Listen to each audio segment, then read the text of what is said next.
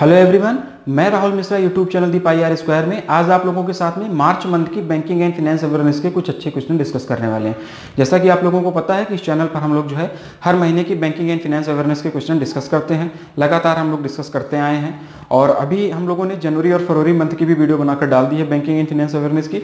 अगर आप लोगों ने उसको नहीं देखा तो आप लोग जाकर उसको देख सकते हैं। और आज जो है हम लोग मार्च मंथ की banking and finance awareness discuss करेंगे। ऐसा नहीं है कि सिर्फ़ हम लोग बैंकिंग एंड फाइनेंस डिस्कस करते हैं, हम लोग करंट अफेयर्स भी डिस्कस करते हैं इस चैनल पर। लेकिन टॉप हंड्रेड करंट अफेयर्स के क्वेश्चन डिस्कस करते हैं। हर मंथ की टॉप हंड्रेड करंट अफेयर्स का क्वेश्चन जो है मैं आप लोगों के लिए लेकर आता हूँ। उसकी पीडीएफ भी आप लोगों को दी जाती है, ठीक है ना? तो इसी सीरीज़ को आज हम लोग आगे बढ़ाते हुए, आज हम लोग जो है मार्च मंथ की बैंकिंग एंड फाइनेंस अवेयरनेस को डिस्कस करेंगे।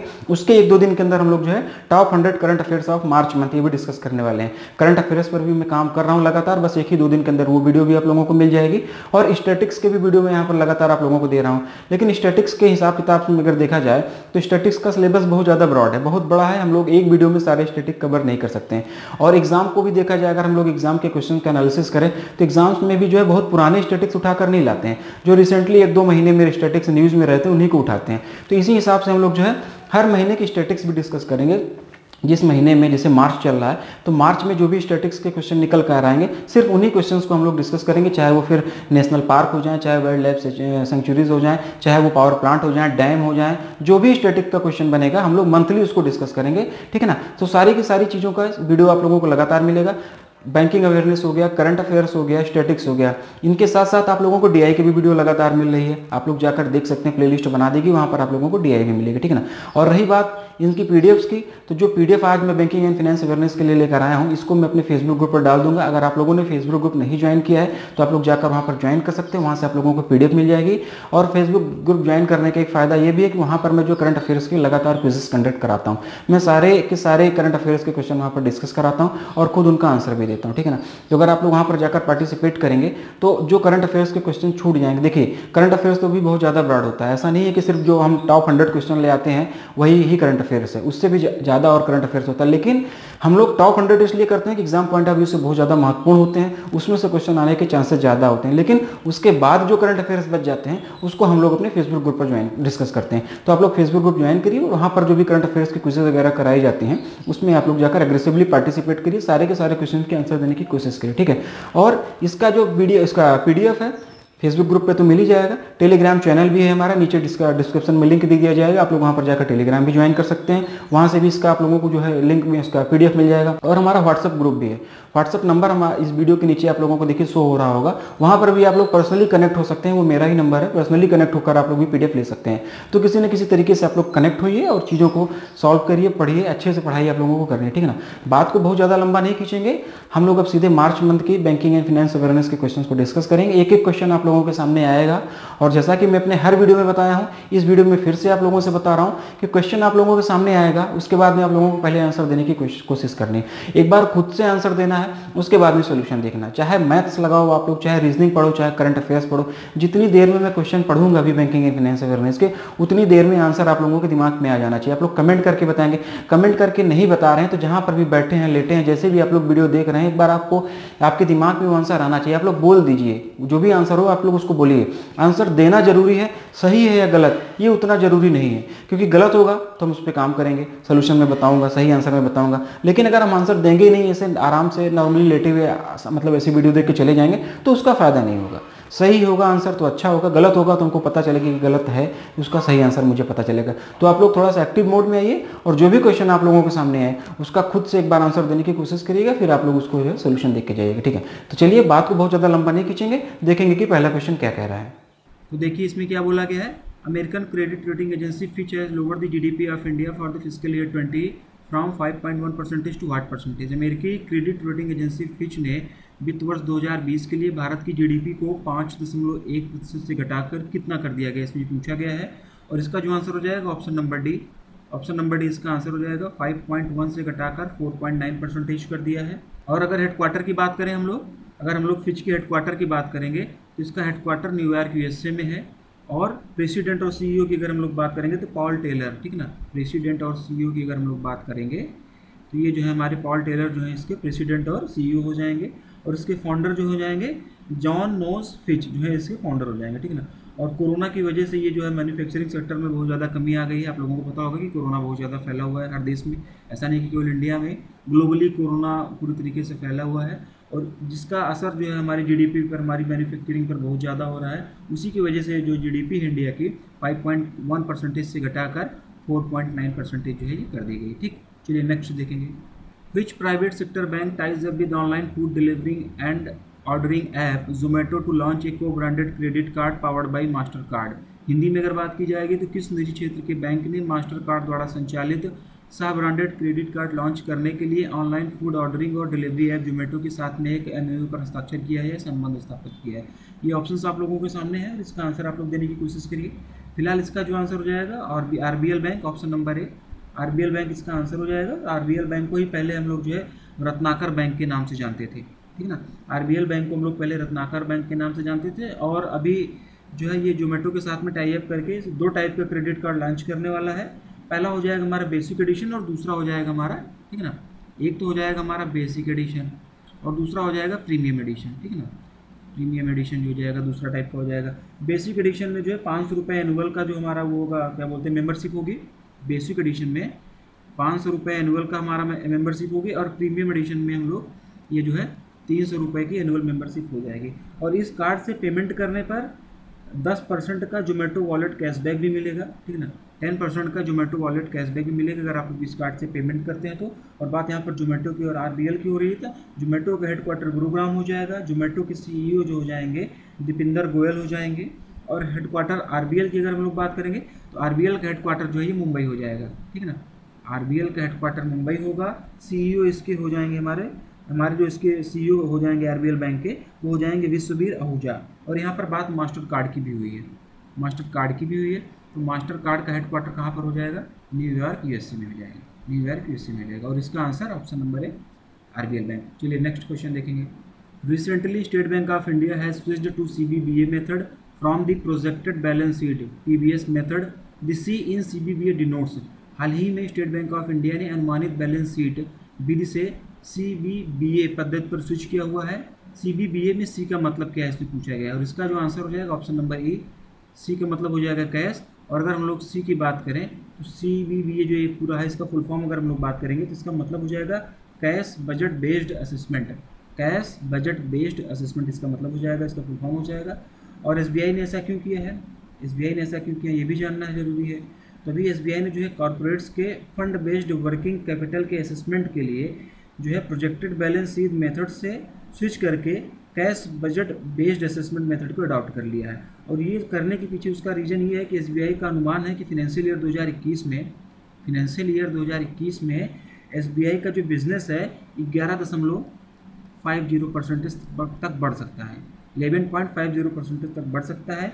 इसी बात को ध्यान में रखते हुए उसने जो भी अच्छे कॉरपोरेट्स हैं एस के, अच्छे कॉरपोरेट्स का मतलब हो जाएगा कि जिनका कोई एनपीए नहीं है, जो लोन टाइम टू टाइम दे दे रहे हैं पेमेंट टर्म जिनकी अच्छी है उनको रिफाइनेंस करने के लिए, उनको फिर से लोन देने के लिए ये मेथड अडॉप्ट किया हुआ है, ठीक है ना? और इसका दूसरा रीज़न ये भी है कि डिजिटल ट्रांजेक्शन इतने ज़्यादा हो रहे हैं कि इन्हें मॉनिटर करना एसबीआई के लिए आसान नहीं है। इतने ज़्यादा डिजिटल ट्रांजेक्शन हो रहे हैं कि इसको मॉनिटर करना एसबीआई के लिए आसान नहीं है। तो इन्हें मॉनिटर करने के लिए जो है, अच्छे से इनको मॉनिटर कर पाए, इसीलिए जो है एसबीआई ने सी मेथड को अडॉप्ट किया है, ठीक है ना? और बात यहाँ पर एसबीआई की हो रही है तो एस का हेडक्वार्टर क्या हो जाएगा? एस का हेडक्वार्टर मुंबई में है, ठीक है ना? चेयरमैन कौन हो जाएँगे, ये कमेंट करके आप लोग बताएँगे। रजनीश कुमार के लिए मैं बता दे रहा हूँ, इसके चेयरमैन हो जाएँगे। और इसकी स्थापना कब हुई थी? इसके साथ साथ में इसकी टैगलाइंस बहुत सारी टैगलाइन है इसकी। तो आप लोगों को टैगलाइन भी जो है कमेंट करके बताना है। और अगर हम लोग एस के डिजिटल बैंकिंग पार्टनर की बात करेंगे तो योनो जो है वाई ओ एन ओ ये जो है हमारा एसबीआई का डिजिटल बैंक उसका डिजिटल बैंकिंग पार्टनर है एसबीआई का, ठीक? चलिए नेक्स्ट देखेंगे।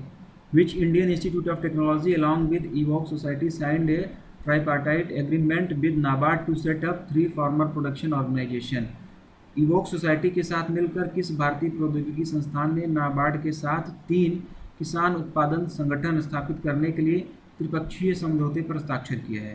ठीक है ना? तो आप लोगों को आईआईटी का नाम बताना है। कौन सी आईआईटी ने, कौन सी इंडियन इंस्टीट्यूट ने इवोक सोसाइटी के साथ में मिलकर नाबार्ड के साथ में जो है तीन फार्मर प्रोडक्शन ऑर्गेनाइजेशन सेटअप करने के लिए हस्ताक्षर किया हुआ है। ठीक है ना? तो इसका जो आंसर हो जाएगा, इसका आंसर हो जाएगा option number A IIT Mandi, ठीक है ना? आप लोग एक बार ना आंसर खुद से देने की कोशिश किया करिए। जैसे भी आप लोग जिस कंडीशन में वीडियो देख रहे हैं क्वेश्चन जितनी देर में मैं पढ़ रहा था, आप लोगों के दिमाग में आंसर आना चाहिए। आप लोग बोल दीजिए या किसी न किसी तरीके से आप लोगों के दिमाग में आंसर आ जाना चाहिए। इसलिए थोड़ा सा ना दिमाग में थोड़ा ज़ोर डाल के आप लोग क्वेश्चन को पढ़ा करिए। ऐसा नहीं कि आराम से लाइटली आप लोग वीडियो देख रहे हैं और चले जा रहे हैं, उससे फ़ायदा नहीं होगा, ठीक है ना? फ़िलहाल जो इसका आंसर हो जाएगा, इसका आंसर हो जाएगा IIT Mandi. IIT Mandi Evok society और नाबार्ड ने जो है हिमाचल प्रदेश के मंडी ज़िले में तीन फार्मर प्रोडक्शन ऑर्गेनाइजेशन स्थापित करने के लिए त्रिपक्षीय समझौते पर हस्ताक्षर किया है, ठीक है ना? और इसका जो निर्माण है, ये अगले तीन सालों में इसको पूरा करना है। इसकी ड्यू लाइन इसकी ड्यू डेट जो दी गई है, अगले तीन सालों में इसका कम मतलब कंप्लीट कर देना है और हिमाचल प्रदेश के मंडी ज़िले में जो है इसका निर्माण किया जाना है, ठीक है ना? अगले तीन सालों में। और नाबार्ड ने जो है इसके लिए अभी पैंतीस लाख रुपये का अप्रूवल भी दे दिया है। नाबार्ड ने इस प्रोजेक्ट के लिए पैंतीस लाख रुपये अभी दे भी दिए हैं। और जो है ईवोक सोसाइटी आईआईटी मंडी का जो है, अगर हम लोग बात करें ईवोक सोसाइटी की तो ईवोक सोसाइटी जो है ये आईआईटी मंडी का वुमेन सेंटर है, जो मंडी ज़िले की पाँच पंचायतों में मंडी ज़िले की पाँच पंचायतों में महिलाओं को छोटे उद्योग लगाने की जो है ट्रेनिंग इन्फॉर्मेशन गाइडेंस ये सारी चीज़ें करती है। और बात यहाँ पर मंडी ज़िले की हो रही है हिमाचल प्रदेश में होता है आईआईटी मंडी जो हिमाचल प्रदेश में हिमाचल प्रदेश के सीएम कौन हो जाएँगे? जयराम ठाकुर। जयराम ठाकुर जो है वो हिमाचल प्रदेश के सीएम हो जाएँगे। और अगर हम लोग बात करेंगे गवर्नर की तो गवर्नर हो जाएँगे बंगारू दत्तात्रेय। कैपिटल अगर हम लोग बात करेंगे हिमाचल की तो शिमला जो है उसकी कैपिटल हो जाएगी। और यहाँ पर नाबार्ड का भी ज़िक्र हुआ है, ठीक है ना? नाबार्ड का भी ज़िक्र हुआ है। तो नाबार्ड की अगर हम लोग स्टैब्लिशमेंट की बात करें, नाबार्ड की स्थापना कब हुई थी? तो 12 जुलाई 1982 12 जुलाई 1982 को नाबार्ड की स्टैब्लिशमेंट हुआ था। नाबार्ड का हेडक्वार्टर जो है मुंबई में हो जाएगा, ठीक है ना? नाबार्ड का हेडक्वार्टर मुंबई में हो जाएगा। और चेयरमैन कौन हो जाएँगे? डॉक्टर हर्ष कुमार भानवाला जो है नाबार्ड के चेयरमैन हो जाएँगे। ये सारी चीज़ें आप लोगों को पता होनी चाहिए बेसिक है, ठीक है ना? अगर आप लोग कोई भी करंट अफेयर्स के क्वेश्चन पढ़ते हैं तो आप लोगों के सामने अगर जैसे कोई नया स्टेट आ रहा है तो उसकी कैपिटल पता होनी चाहिए। नया कंट्री आ रही है तो capital currency PM governor PM या प्रेसिडेंट जो होना, वो पता होना चाहिए, ठीक ना? तो इस तरीके से अगर आप तैयारी करेंगे तो फिर चीज़ें आप लोगों को आसानी से याद हो जाएँगी और बहुत ज़्यादा जो है, आप लोगों को ऐसा नहीं कि अलग से कोई चीज़ इंडिविजुअली याद करना होगा। एक चीज़ यहाँ पर और बताइए आप लोग, हिमाचल प्रदेश की बात हुई है यहाँ पर? आईआईटी मंडी, हिमाचल प्रदेश में। तो हिमाचल प्रदेश में कौन से नेशनल पार्क हैं? कौन सा वाइल्ड लाइफ सेंचुरी है? है या नहीं है? ये आप लोग कमेंट करके बताएँ, ठीक? चलिए नेक्स्ट क्वेश्चन देखेंगे। Name the Indian digital payment platform subsidiary which has received the brokerage licence from IRDAI उस भारतीय डिजिटल भुगतान मंच की सहायक कंपनी का नाम बताइए, जिसे आईआरडीएआई से ब्रोकरेज लाइसेंस प्राप्त हुआ है अभी हाल में। ऑप्शन आप लोगों के सामने, इसका आंसर हो जाएगा option number C Paytm Paytm हो जाएगा। पेटीएम की सहायक कंपनी पेटीएम इंश्योरेंस ब्रोकिंग, ठीक है ना? ये पेटीएम की सब्सिडरी है। इसे जो है आईआरडीए से ब्रोकरेज लाइसेंस मिल चुका है, ठीक है ना? अब इसके बाद में जो पेटीएम जो है, ये ऑटोमोबाइल हेल्थ लाइफ के क्षेत्र में जो है इंश्योरेंस पॉलिसीज़ को ऑफ़र कर सकेगा। बात यहाँ पर पेटीएम की हो रही है तो पेटीएम का हेडक्वार्टर नोएडा, ठीक है ना? नोएडा, यूपी में है पेटीएम का हेडक्वार्टर और अगर इसकी पेरेंट ऑर्गेनाइजेशन की बात करें हम लोग पेटीएम की तो वन नाइन सेवन कम्युनिकेशन जो है पेटीएम का पेरेंट ऑर्गेनाइजेशन है। As per the report titled O E C D interim economic assessment coronavirus the world economic at risk economy at risk what is the estimated growth rate of India for the year twenty twenty O E C D interim economic assessment coronavirus the world economy in risk शीर्षक वाली report के अनुसार वर्ष 2020 में भारत की अनुमानित विकास दर क्या है? इस क्वेश्चन का हिंदी में मतलब होगा और इसका आंसर होगा ऑप्शन नंबर सी 5.1 परसेंट कितना?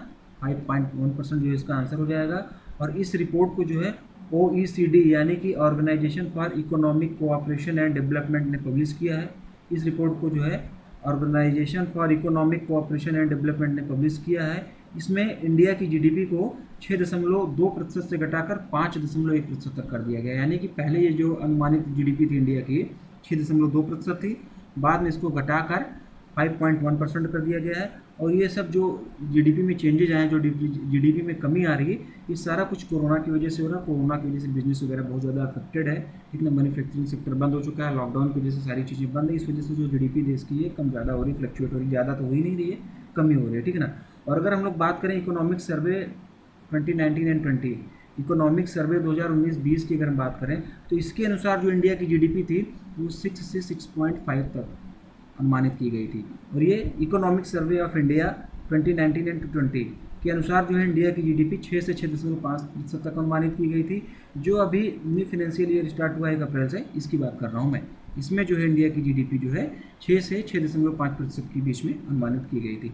और अगर हम लोग बात करें ओईसीडी की, ठीक है ना? ओ की अगर हम लोग बात करें ओईसीडी यानी कि अभी क्या होगा आप लोगों को बताया ही था ओ यानी कि organisation for economic cooperation and development तो अगर हम लोग इसमें बात करेंगे मेंबर कंट्रीज़ की तो ओ में नंबर ऑफ़ कंट्रीज़ कितने हो जाएँगे? Thirty six total 36 member of countries हैं इसमें। और अगर हम लोग इसके हेडक्वार्टर की बात करें ओ की तो पेरिस फ्रांस में इसका हेडक्वार्टर हो जाएगा। कहाँ पर? पेरिस फ्रांस फ्रांस में इसका जो है हेडक्वार्टर हो जाएगा। ठीक है ना? और इसके जनरल सेक्रेटरी कौन है? ये आप लोग कमेंट करके बताएँगे। ठीक है ना? ये आप लोगों को कमेंट करके बताना है। और अगर हम लोग जीडीपी की बात करें एनएसओ की नेशनल स्टेटिस्टिक्स ऑर्गेनाइजेशन के अनुसार अगर हम लोग बात करें जीडीपी की तो 2019 और 2019 से 20 के बीच में जो है एनएसओ के हिसाब से जो है इंडिया की जीडीपी कितनी रहने वाली थी? पाँच प्रतिशत, ठीक है ना? लेकिन 2020 से इक्कीस के बीच में 2020 से इक्कीस के बीच में कोरोना की वजह से इसमें भी कमी आई है और ये जो है अनुमानित जीडीपी कितना कितनी है? 4.9 परसेंट है, ठीक? 4.9 percent according to the ministry of finance data what is the percentage of the women account holders under the Stand Up India scheme as on 17 February 2020 वित्त मंत्रालय के आंकड़ों के अनुसार 17 फरवरी 2020 तक स्टैंड अप इंडिया योजना के तहत महिला खाता धारकों की संख्या क्या है? महिला खाता धारकों का प्रतिशत क्या है? ये पूछा गया है इसमें और ऑप्शन आप लोगों के सामने हैं। इसका आंसर जो जाएगा 81 परसेंट ऑप्शन नंबर ए ठीक है ना? 81 परसेंट जो है महिला अकाउंट होल्डर्स हैं। कब तक? 17 फरवरी 2020 तक में। और ये डाटा किसका था? मिनिस्ट्री ऑफ़ फिनेंस वित्त मंत्रालय का ये डाटा था। मिनिस्ट्री ऑफ़ फिनेंस ने अभी जो है तीन मार्च को जो है उन सारी स्कीम्स का डाटा रिलीज़ किया हुआ है, जिसमें वुमेन एम्पावरमेंट को जो है तरजीह ज़्यादा दी गई थी। जिसमें वुमेन एम्पावरमेंट की बात की गई थी, उन सभी योजनाओं में जिसमें वुमेन एम्पावरमेंट को प्रोविज़न था, उस योजनाओं का जो है डाटा जो है अभी मिनिस्ट्री ऑफ़ फाइनेंस ने जारी किया है तीन मार्च को। और इसी के अनुसार जो है स्टैंड अप इंडिया स्कीम के तहत में इक्यासी प्रतिशत महिलाओं का ही अकाउंट है। स्टैंड अप इंडिया के तहत में जितने भी खाते खोले गए हैं, जितने भी अकाउंट खोले गए हैं, उसमें से 81 परसेंट अकाउंट जो है वो महिलाओं का है, ठीक है ना? अगर हम लोग बात करेंगे स्टैंड अप इंडिया स्कीम की, वैसे तो ये, चलिए ठीक है थोड़ा सा एक्सटेंड करता हूँ इस क्वेश्चन को मैं, लेकिन ये सारी योजनाओं की एक अलग सी वीडियो बना के मैं आप लोगों को डाल दूँगा, आप लोग वहाँ पर जाकर सारी गवर्नमेंट की स्कीम देख सकते हैं। चलिए अभी थोड़ा सा जान लेते हैं स्टैंड अप इंडिया स्कीम के बारे में। तो स्टैंड अप इंडिया स्कीम जो थी ये 2016 में शुरू हुई थी। कब शुरू हुई थी? 2016 में लॉन्च हुई थी। और इसका मोटो क्या था? इसका मोटो था कि इंटरप्रेन्योरशिप को और जॉब क्रिएशन को बढ़ावा देना था। इंटरप्रेन्योरशिप और जॉब क्रिएशन को बढ़ावा देना था। इसके तहत में बैंक को 10 लाख रुपए से लेकर एक करोड़ तक का लोन कितने से कितने तक? दस लाख से लेकर एक करोड़ रुपए तक का लोन जो है, कम से कम एक शेड्यूल्ड कास्ट या शेड्यूल्ड ट्राइब को देना होगा और कम से कम एक महिला को भी ये लोन देना होगा। ठीक है ना? ये हमारी स्टैंड अप इंडिया स्कीम थी। ठीक है ना? और 17 फरवरी 2020 को स्टैंड अप इंडिया स्कीम के तहत में जो भी जितने भी खाते खुले हुए थे, उसमें से इक्यासी प्रतिशत खाते महिलाओं के थे, बाकी जो शेष थे वो पुरुषों के थे। ये डाटा जो है मिनिस्ट्री ऑफ़ फिनेंस के हिसाब से आया हुआ था, ठीक है ना? और इसी डाटा के हिसाब, क्योंकि मिनिस्ट्री ऑफ़ फिनेंस ने जो है, ऐसा तो है नहीं कि सिर्फ़ स्टैंडअप इंडिया स्कीम का ही डाटा रिलीज़ किया था, उसने जो है और भी बहुत सारी योजनाओं का डाटा रिलीज़ किया हुआ था। तो उन कुछ योजनाओं के जो डाटा है, उसको हम लोग यहाँ पर डिस्कस कर लेंगे, क्योंकि क्वेश्चन वहाँ से भी मिल सकता है। ये क्वेश्चन तो मैंने मिनिस्ट्री ऑफ़ डाटा का जो है स्टैंड अप इंडिया की स्कीम के तहत जो भी क्वेश्चन था, मैंने फ्रेमिंग कर ली। लेकिन हमसे जो था, प्रधानमंत्री जनधन योजना के बारे में पूछा जा सकता है, प्रधानमंत्री मुद्रा योजना के बारे में भी डाटा पूछा जा सकता है कि उसमें वुमेन अकाउंट होल्डर किसने थे तो उन सारी चीज़ों को हम लोग थोड़ा सा जानते हैं, ठीक है ना? अभी हम लोगों ने बात की थी स्टैंड अप इंडिया स्कीम के बारे में। अब हम लोग बात करेंगे प्रधानमंत्री मुद्रा योजना के बारे में, ठीक है ना? इसका भी डाटा रिलीज़ किया गया है। और इसके तहत में जो है 22.53 करोड़। कितने? डाटा को आप लोग ध्यान से सुनिएगा। 22.53 करोड़ जो है टोटल लोन दिया गया था। ठीक है ना? इतने का लोन जो है प्रधानमंत्री मुद्रा योजना के तहत दिया गया था टोटल जिसमें से पंद्रह दशमलव सात पाँच crore fifteen point seven five fifteen point seven five crore loan जो था, इतने रुपए का लोन जो था, वो महिलाओं को दिया गया था। यानी कि लगभग सत्तर प्रतिशत लोन जो है वो महिलाओं को दिया गया था। प्रधानमंत्री मुद्रा योजना के तहत में 17 फरवरी 2020 तक लगभग 70 प्रतिशत लोन जो है वो महिलाओं को दिया गया था। और प्रधानमंत्री मुद्रा योजना की अगर हम लोग बात करें, ये 8 अप्रैल को लॉन्च हुई थी। 8 अप्रैल 2015 में जो ये लॉन्च किया गया था, ठीक है ना? और इसी के साथ साथ में प्रधानमंत्री जनधन योजना का भी डाटा रिलीज़ किया गया था। प्रधानमंत्री ही जनधन योजना का भी डाटा रिलीज़ किया गया था। प्रधानमंत्री जनधन योजना कब लॉन्च हुई थी, आप लोग कमेंट करके बताइएगा। वैसे चलिए मैं बता दे रहा हूँ। प्रधानमंत्री जनधन योजना जो थी 28 अगस्त 2014 ठीक है? 28 अगस्त 2014 को प्रधानमंत्री जनधन योजना लॉन्च किया गया था। अब योजना क्या है, इसके बारे में बहुत डिटेल में नहीं जाएँगे। इसके लिए अलग से वीडियो बनाऊँगा, मैं आप लोगों से बोल दिया है, ठीक है ना? लेकिन जो डाटा रिलीज़ किया गया था मिनिस्ट्री ऑफ़ फाइनेंस के द्वारा, उसको हम लोग जानते हैं। तो मिनिस्ट्री ऑफ़ फाइनेंस के द्वारा जो डाटा रिलीज़ किया गया था प्रधानमंत्री जनधन योजना के लिए, उसके अनुसार प्रधानमंत्री जनधन योजना में टोटल अड़तीस दशमलव एक तीन करोड़ खाते खुले। कितने? Thirty eight point one three C R thirty eight point one three crore खाते जो है सत्रह फरवरी दो हज़ार बीस तक खुले हुए थे, जिसमें से टोटल बीस दशमलव तीन तीन, कितने? Twenty point three three crore account जो थे, वो महिलाओं के थे, ठीक है ना? ये इतने अकाउंट जो थे, महिलाओं के थे, बाकी अकाउंट जो थे, वो पुरुषों के थे। अगर हम लोग देखें, इसका तो लगभग पचास तिरपन परसेंट आ जाएगा, ठीक है ना? लगभग तिरपन प्रतिशत अकाउंट जो महिलाओं के थे। तो प्रधानमंत्री मुद्रा योजना के तहत में लगभग तिरपन प्रतिशत अकाउंट फिफ्टी परसेंट अकाउंट जो थे, वो महिलाओं के खोले गए अब हम लोग अटल पेंशन योजना की बात कर लेते हैं। अटल पेंशन योजना का भी डाटा रिलीज़ किया गया है। इसके तहत टोटल 2.15 करोड़ सब्सक्राइबर्स ने जो है इसमें पार्टिसिपेट किया, ठीक है ना? अटल पेंशन योजना के तहत में 2.15 करोड़ ठीक है ना? 2.15 करोड़ सब्सक्राइबर में से 93 लाख सब्सक्राइबर जो महिलाओं के थे। टोटल 2.15 सब्सक्राइबर थे, जिसमें से कि तिरानबे लाख जो थी, ये महिलाएँ थी, ठीक है ना? ये वुमेन थी। और इसका प्रतिशत अगर हम लोग देखा जाए तो लगभग तिरालीस प्रतिशत फोर्टी थ्री परसेंटेज जो था, प्रधानमंत्री अटल पेंशन योजना के तहत में तिरालीस परसेंट सब्सक्राइबर जो थी, वो महिलाएँ ही थी, ठीक ना? और अटल पेंशन योजना जो है, ये स्कीम कब लॉन्च की गई थी? ये 9 मई 2015 को लॉन्च की गई थी। ये जो मैं बोल रहा हूँ स्कीम्स वगैरह कब लॉन्च की गई थी, इसको आप लोग चाहें तो लिख भी सकते हैं, ठीक है ना? प्रधानमंत्री जीवन ज्योति बीमा योजना का भी डाटा रिलीज़ किया गया था। प्रधानमंत्री जीवन ज्योति बीमा योजना जो है ये 9 मई 2015 को लॉन्च किया गया था। कब? 9 मई 2015 को लॉन्च किया गया था। और अगर हम लोग बात करें तो इसमें भी जो है 40.70 परसेंट इन्वायरमेंट जो है महिलाओं का ही था। प्रधानमंत्री जीवन ज्योति बीमा योजना के तहत में लगभग 40.70 परसेंट अकाउंट्स जो थे इन्वॉल्वमेंट्स जो थे, वो महिलाओं के नाम के हुए थे, ठीक है ना? और इसमें से 58.21 परसेंट महिलाएँ थी जिनको क्लेम मिला हुआ था। 58.21 परसेंट महिलाएँ थी जिनको इस योजना के तहत में क्लेम मिला हुआ था। टोटल 40.70 परसेंट महिलाएँ जो थी, उन्होंने इनरोल किया था और इसमें से 58.21 परसेंटेज महिलाओं को इसका क्लेम मिला था। प्रधानमंत्री सुरक्षा बीमा योजना का इसका भी डाटा रिलीज़ किया गया और प्रधानमंत्री सुरक्षा बीमा योजना की अगर हम लोग बात करेंगे तो ये भी जो है 9 मई 2015 को ही लॉन्च की गई थी। ये भी 9 मई 2015 को लॉन्च की गई थी। और जो वित्त मंत्रालय ने डाटा रिलीज़ किया है, इसके अनुसार forty one point five zero percentage महिलाओं का इनरोलमेंट हुआ, जिसमें से sixty one point two nine percent महिलाओं को क्लेम मिला, ठीक है ना? कितने कितने का? Forty one point five zero percent महिलाओं का इनरोलमेंट हुआ, और इसमें से जो है क्लेम कितनों को मिला? तो sixty one point two nine percent महिलाओं को क्लेम मिला। और ये कौन सी योजना की बात हो रही है? ये बात हो रही है प्रधानमंत्री सुरक्षा बीमा योजना की, ठीक है ना? अब बात कर लेते हैं वित्त मंत्री की तो वित्त मंत्री कौन है हमारे? फिनेंस मिनिस्टर हो जाएँगे हमारे निर्मला सीतारमण और फिनेंस सेक्रेटरी कौन हो जाएँगे? अजय भूषण पांडे। और अजय भूषण पांडे ने राजीव कुमार को रिप्लेस किया हुआ है। यहाँ से क्वेश्चन ये भी बन के आ सकता है कि वर्तमान में फिनेंस सेक्रेटरी कौन है? तो वर्तमान में फिनेंस सेक्रेटरी जो है अजय भूषण पांडे हैं और इन्होंने जो है राजीव कुमार को रिप्लेस किया। किसको रिप्लेस किया था? राजीव कुमार को। ठीक है?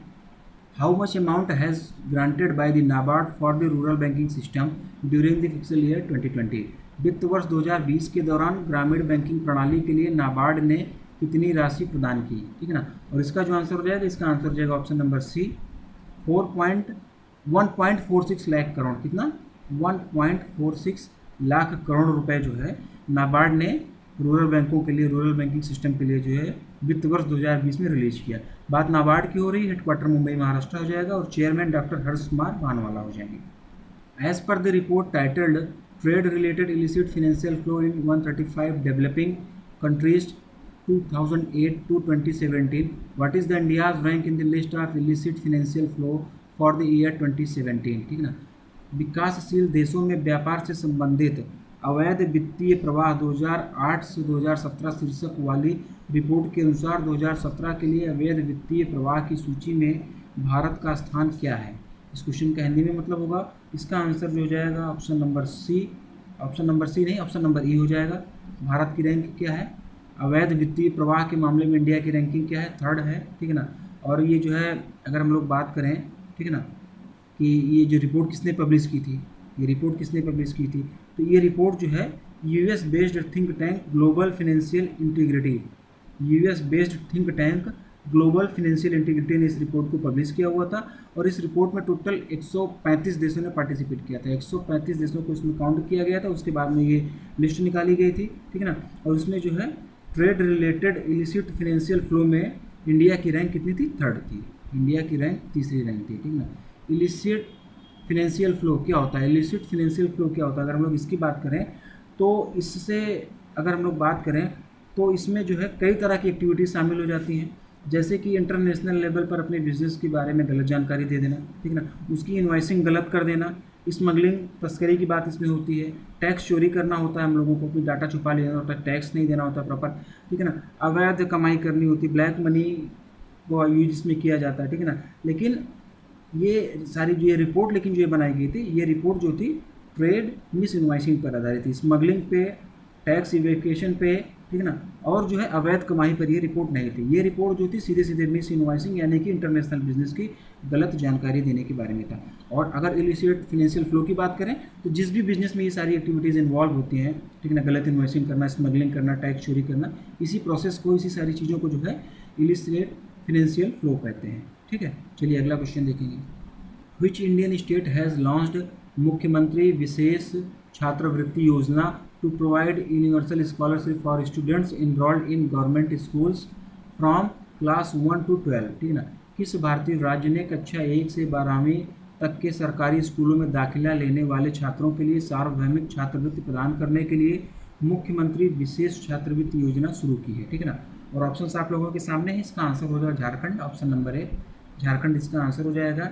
झारखंड सरकार ने भी हाल ही में अपना बजट पेश किया हुआ था। वित्त वर्ष 2020-21 के लिए अपना बजट पेश किया हुआ था। छियासी करोड़ रुपए का। छियासी करोड़ रुपए का बजट जो है झारखंड सरकार ने अभी प्रस्तुत किया अपने राज्य के लिए, ठीक है ना?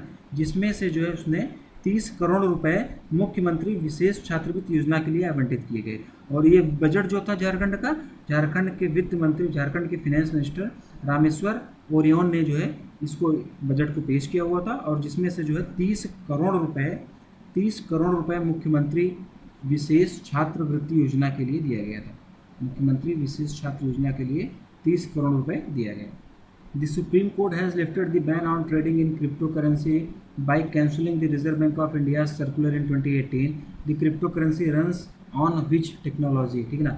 सुप्रीम कोर्ट ने 2018 में भारतीय रिज़र्व बैंक के परिपत्र को रद्द करके क्रिप्टो करेंसी में व्यापार प्रतिबंध हटा लिया। ठीक है ना? और जो क्रिप्टो करेंसी है, ये किस टेक्नोलॉजी पर, किस प्रौद्योगिकी पर काम करती है? ऑप्शन आप लोगों के सामने, इसका आंसर हो जाएगा ऑप्शन नंबर डी। ये ब्लॉकचेन पर काम करती है।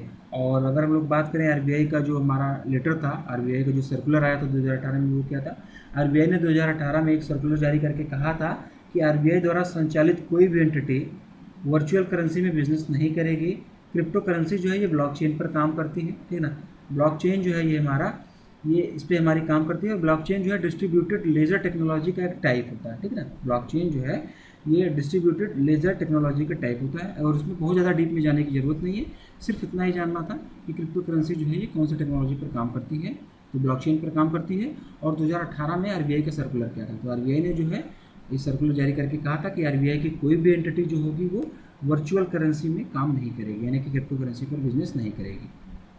I C I C I prudential A M C asset management company has entered into the partnership with which cooperative banks for distribution of its product to the rural market ICICI prudential AMC ने ग्रामीण बाज़ार में अपने उत्पादों के वितरण के लिए किस सहकारी बैंक के साथ में साझेदारी की, कि उसके साथ में एक पार्टनरशिप की है? इसका आंसर हो जाएगा Saraswat cooperative bank option number D option number D Saraswat cooperative bank के साथ में आई ने जो है रूरल एरिया में अपने प्रोडक्ट्स को लॉन्च करने के लिए जो है, अपने प्रोडक्ट का वितरण करने के लिए इसके साथ में एक साझेदारी पर हस्ताक्षर किया था, ठीक है ना? और I potential asset management company जो है, इसका हेडक्वार्टर की अगर हम लोग बात करेंगे तो इसका हेडक्वार्टर मुंबई, महाराष्ट्र में हो जाएगा। और सारस्वत कोऑपरेटिव बैंक जो है, इसका भी हेडक्वार्टर अगर हम लोग बात करें तो इसका भी हेडक्वार्टर जो है मुंबई, महाराष्ट्र में हो जाएगा। कहाँ पर है इसका? इसका भी हेडक्वार्टर मुंबई, महाराष्ट्र में। और अब आप लोगों को सारस्वत कोऑपरेटिव बैंक की टैग लाइन कमेंट करके बतानी है। इसकी टैग लाइन आप लोगों को कमेंट करके बतानी है। Name the person who has resigned as the Reserve Bank of India deputy governor in the month of March 2020 उस व्यक्ति का नाम बताइए जिसने मार्च 2020 में भारतीय रिज़र्व बैंक के डिप्टी गवर्नर के पद से इस्तीफा दे दिया। ऑप्शन आप लोगों के सामने हैं, ठीक है ना? ऑप्शन आप लोगों के सामने है और इसका जो आंसर हो जाएगा N S Vishwanathan. Option number C option number C N S Vishwanathan ने आरबीआई के डिप्टी गवर्नर के पद से इस्तीफा दे दिया है, ठीक है ना? और इन्हें जो है तीन जुलाई को भी रिटायर भी होना था, ठीक है ना? इन्हें जो है तीन जुलाई को रिटायर होना था, लेकिन इन्होंने पहले इस्तीफा दे दिया। हेल्थ इश्यूज़ के कारण, स्वास्थ्य समस्याओं के कारण इन्होंने तीन जुलाई को रिटायर होना होना उचित नहीं समझा। इन्होंने उससे पहले ही रिजाइन दे दिया। और बात यहाँ पर आरबीआई की हो रही तो आरबीआई का हेडक्वार्टर मुंबई में हो जाएगा। गवर्नर शक्तिकांत दास हो जाएँगे। और ये शक्तिकांत दास जो है आरबीआई के कौन से नंबर के गवर्नर हैं ये आप लोगों को कमेंट करके नीचे बताना है। नेक्स्ट क्वेश्चन देखेंगे हम लोग। The report titled impact of Swachh Bharat mission Gramin on the convenience, safety and self-respect of women in rural India is released by which organization along with Bill and Melinda Gates Foundation. Hindi में अगर हम लोग बात करेंगे तो ग्रामीण भारत में महिलाओं की सुविधा सुरक्षा और स्वाभिमान पर स्वच्छ भारत मिशन ग्रामीण का प्रभाव शीर्षक से प्रकाशित रिपोर्ट किस संगठन द्वारा बिल और मेलिंडा गेट्स फाउंडेशन के साथ में मिलकर जारी की गई? ऑप्शन आप लोगों के सामने हैं। इसमें पूछा गया है कि बिल और बिल गेट्स और मिलिंडा फाउंडेशन के साथ में मिलकर कौन से ऑर्गेनाइजेशन ने जो है impact of Swachh Bharat mission Grameen on convenience, safety and self respect of women in rural India की रिपोर्ट जो है पब्लिश की है। तो इसका जो आंसर हो जाएगा, इसका आंसर हो जाएगा UNICEF option number D UNICEF और Bill and Melinda Gates foundation ने मिलकर इस रिपोर्ट को तैयार किया हुआ था, ठीक है ना? और यूनियन मिनिस्टर ऑफ़ जल शक्ति गजेंद्र सिंह शेखावत फिर से सुनिएगा यूनियन मिनिस्टर ऑफ़ जल शक्ति गजेंद्र सिंह शेखावत ने स्वच्छ भारत मिशन का फ़ेज़ टू जो है नई दिल्ली में लॉन्च किया, ठीक है ना? नई दिल्ली में इन्होंने स्वच्छ भारत मिशन का फ़ेज़ टू लॉन्च किया हुआ था और इसी दौरान उन्होंने यूनिसेफ और Bill Gates and Melinda Gates foundation द्वारा जो तैयार की गई रिपोर्ट थी, इसको भी जो है इन्होंने पब्लिश किया इसको भी इन्होंने जारी किया था, ठीक है ना? और क्वेश्चन ये भी बन के आ सकता था कि इस रिपोर्ट का नाम क्या था? इस रिपोर्ट का नाम भी आप लोग पता कर, पढ़ लीजिएगा, इसको ध्यान से पढ़ लीजिएगा। किसके किसके द्वारा ये रिपोर्ट पब्लिश की गई थी, ये भी पूछा जाता है। किसके किसके द्वारा रिपोर्ट पब्लिश की गई थी, ये आप लोगों को बता ही दिया गया कि यूनिसेफ और बिलियन मिलिंडा गेट्स के द्वारा इसको पब्लिश किया गया था, ठीक है ना? और फ़ेज़ टू का जो कार्यकाल रहेगा टेन्योर रहेगा फ़ेज़ टू कब से कब तक चलेगा? स्वच्छ भारत मिशन अभियान का फ़ेज़ टू कब से कब तक चलेगा? तो ये 2020-21 से लेकर 2024-25 तक चलने वाला है, कब से लेकर? 2020-21 से लेकर 2024 और 25 तक जो है स्वच्छ भारत अभियान का फ़ेज़ टू चलेगा, ठीक? चलिए नेक्स्ट क्वेश्चन हम लोग देखेंगे कि इसमें क्या बोला गया है। Which Indian institute signed a pact with agriculture and processed food products export development authority A P E D A in terms of technology development in export promotion किस भारतीय संस्थान ने निर्यात प्रोत्साहन में प्रौद्योगिकी विकास के लिए कृषि और संस्कृत खाद्य उत्पाद निर्यात विकास प्राधिकरण ए पी ई डी ए के साथ में एक समझौते पर हस्ताक्षर किया है। इसका जो आंसर हो जाएगा, ऑप्शन नंबर डी हो जाएगा। आईआईटी दिल्ली ने जो है ए पी ई डी ए के साथ में जो है, एक्सपोर्ट प्रमोशन को बढ़ावा देने के लिए जो है एक समझौते पर हस्ताक्षर किया हुआ है और इसके साथ में जो है ये आईआईटी दिल्ली जो होगी ए पी ई डी ए को जो है एग्रीकल्चर एक्सपोर्ट को बढ़ावा देने के लिए नई नई टेक्निक्स बताएगी इन्फॉर्मेशन बताएगी इन्फॉर्मेशन शेयर करेगी और जो भी आईआईटी दिल्ली के अंदर लैब्स वगैरह हैं, उसको भी इसके साथ में ए पी डी ए के साथ में साझा करेगी। और जो हमारा ए पी ई डी ए होता है, ये ministry of commerce and industry के अंदर काम करता है है ना? क्वेश्चन ये भी पूछा जा सकता था, कई बार पूछा जा सकता है कि ए पी ई डी ए जो है, कौन सी मंत्रालय के अंदर आता है? ये ministry of commerce and industry के अंदर ये काम करता है। Under which section of banking regulation act 1949 the ministry of finance has impose a moratorium on Yes Bank ठीक है ना? बैंकिंग विनियन अधिनियम उन्नीस सौ उनचास की किस धारा के तहत वित्त मंत्रालय ने येस बैंक पर रोक लगा दी गई है? अभी आप लोगों को पता होगा कि येस बैंक पे रोक लगा दी गई थी बीच में, ठीक है ना? कुछ अनियमितताएँ उसमें पाई गई थी रेगुलेटरीज की वजह से उसमें आर ने उस पर रोक लगा दी गई थी। इस पर पूछा गया है कि बैंकिंग अधिनियम की कौन सी धारा के तहत में वो रोक लगाई गई थी और इसका जो आंसर हो जाएगा section thirty five, section forty five, option number E option number E इसका आंसर हो जाएगा सेक्टर सेक्शन फोर्टी फाइव, ठीक है ना? और ये रोक लगा देने के बाद में प्रशांत कुमार को जो है, बैंकिंग रेगुलेशन एक्ट 1949 की सेक्शन 36 एसीए के तहत में जो है यस बैंक का नया एडमिनिस्ट्रेटर भी बनाया गया था। और प्रशांत कुमार को जो एडमिनिस्ट्रेटर बनाया गया था, ये नया, इसको कौन से एक्ट के तहत बनाया गया था? बैंकिंग रेगुलेशन एक्ट 1949 के section 36 A C A section 36 ए सी ए के तहत में प्रशांत कुमार को नया एडमिनिस्ट्रेटर जो है, वो बनाया गया था यस बैंक का। और कितने दिनों के लिए इनको नया एडमिनिस्ट्रेटर बनाया गया था? थर्टी डेज़ तीस दिनों के लिए इनको जो है, नया एडमिनिस्ट्रेटर बनाया गया था। और अगर हम लोग बात करेंगे येस बैंक की तो येस बैंक की स्थापना जो है इस्टेब्लिशमेंट 2004 में हुआ था। हेडक्वार्टर जो है इसका मुंबई में है, ठीक ना? येस बैंक का हेडक्वार्टर मुंबई, महाराष्ट्र में है। और टैगलाइन अगर हम बात करेंगे इस बैंक की तो experience our expertise experience our expertise जो है वो येस बैंक की टैगलाइन हो जाएगी। आरबीआई आरबीआई का हेडक्वार्टर कहाँ पर हो जाएगा? आरबीआई का हेडक्वार्टर भी मुंबई में होगा, ठीक है ना? आरबीआई का हेडक्वार्टर भी मुंबई में होगा। गवर्नर शक्तिकांत दास हैं कौन से नंबर के गवर्नर हैं? आप लोगों से पूछा हुआ है पीछे भी। आप लोग इसका आंसर देने की कोशिश करिए, ठीक है ना? और एक क्वेश्चन यहाँ से भी बन के आ रहा है कि आरबीआई के कौन से डिप्टी गवर्नर हैं जिन्होंने भी हाल में इस्तीफा दिया है? तो वो भी आप लोग कमेंट करके बताएँगे।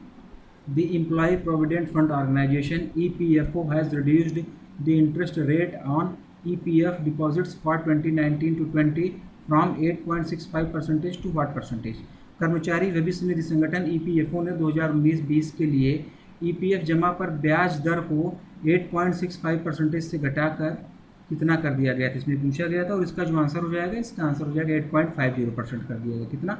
Option number D eight point six five से घटाकर eight point five zero percentage कर दिया गया, ठीक है ना? और अगर हम लोग बात करेंगे ई पी एफ़ ओ की, ठीक है ना? ई पी एफ़ ओ का हेडक्वार्टर कहाँ पर है? इसका हेडक्वार्टर जो है न्यू दिल्ली में है। कहाँ पर? न्यू दिल्ली में इसका हेडक्वार्टर है, ठीक है? और इसका इस्टेब्लिशमेंट कब हुआ था? एफ़ ओ की अगर स्थापना बात की जाए तो कब हुई थी? नाइनटीन फिफ्टी टू में जो है इसकी स्थापना की गई थी, ठीक है ना? और जो ई पी एफ़ ओ है, ये ministry of labour and employment के अंडर काम करती है। कई बार ये भी पूछा जा सकता है कि पी ओ जो है, ये किसके अंडर काम करता है? कौन से मंत्रालय के अंदर काम करता है?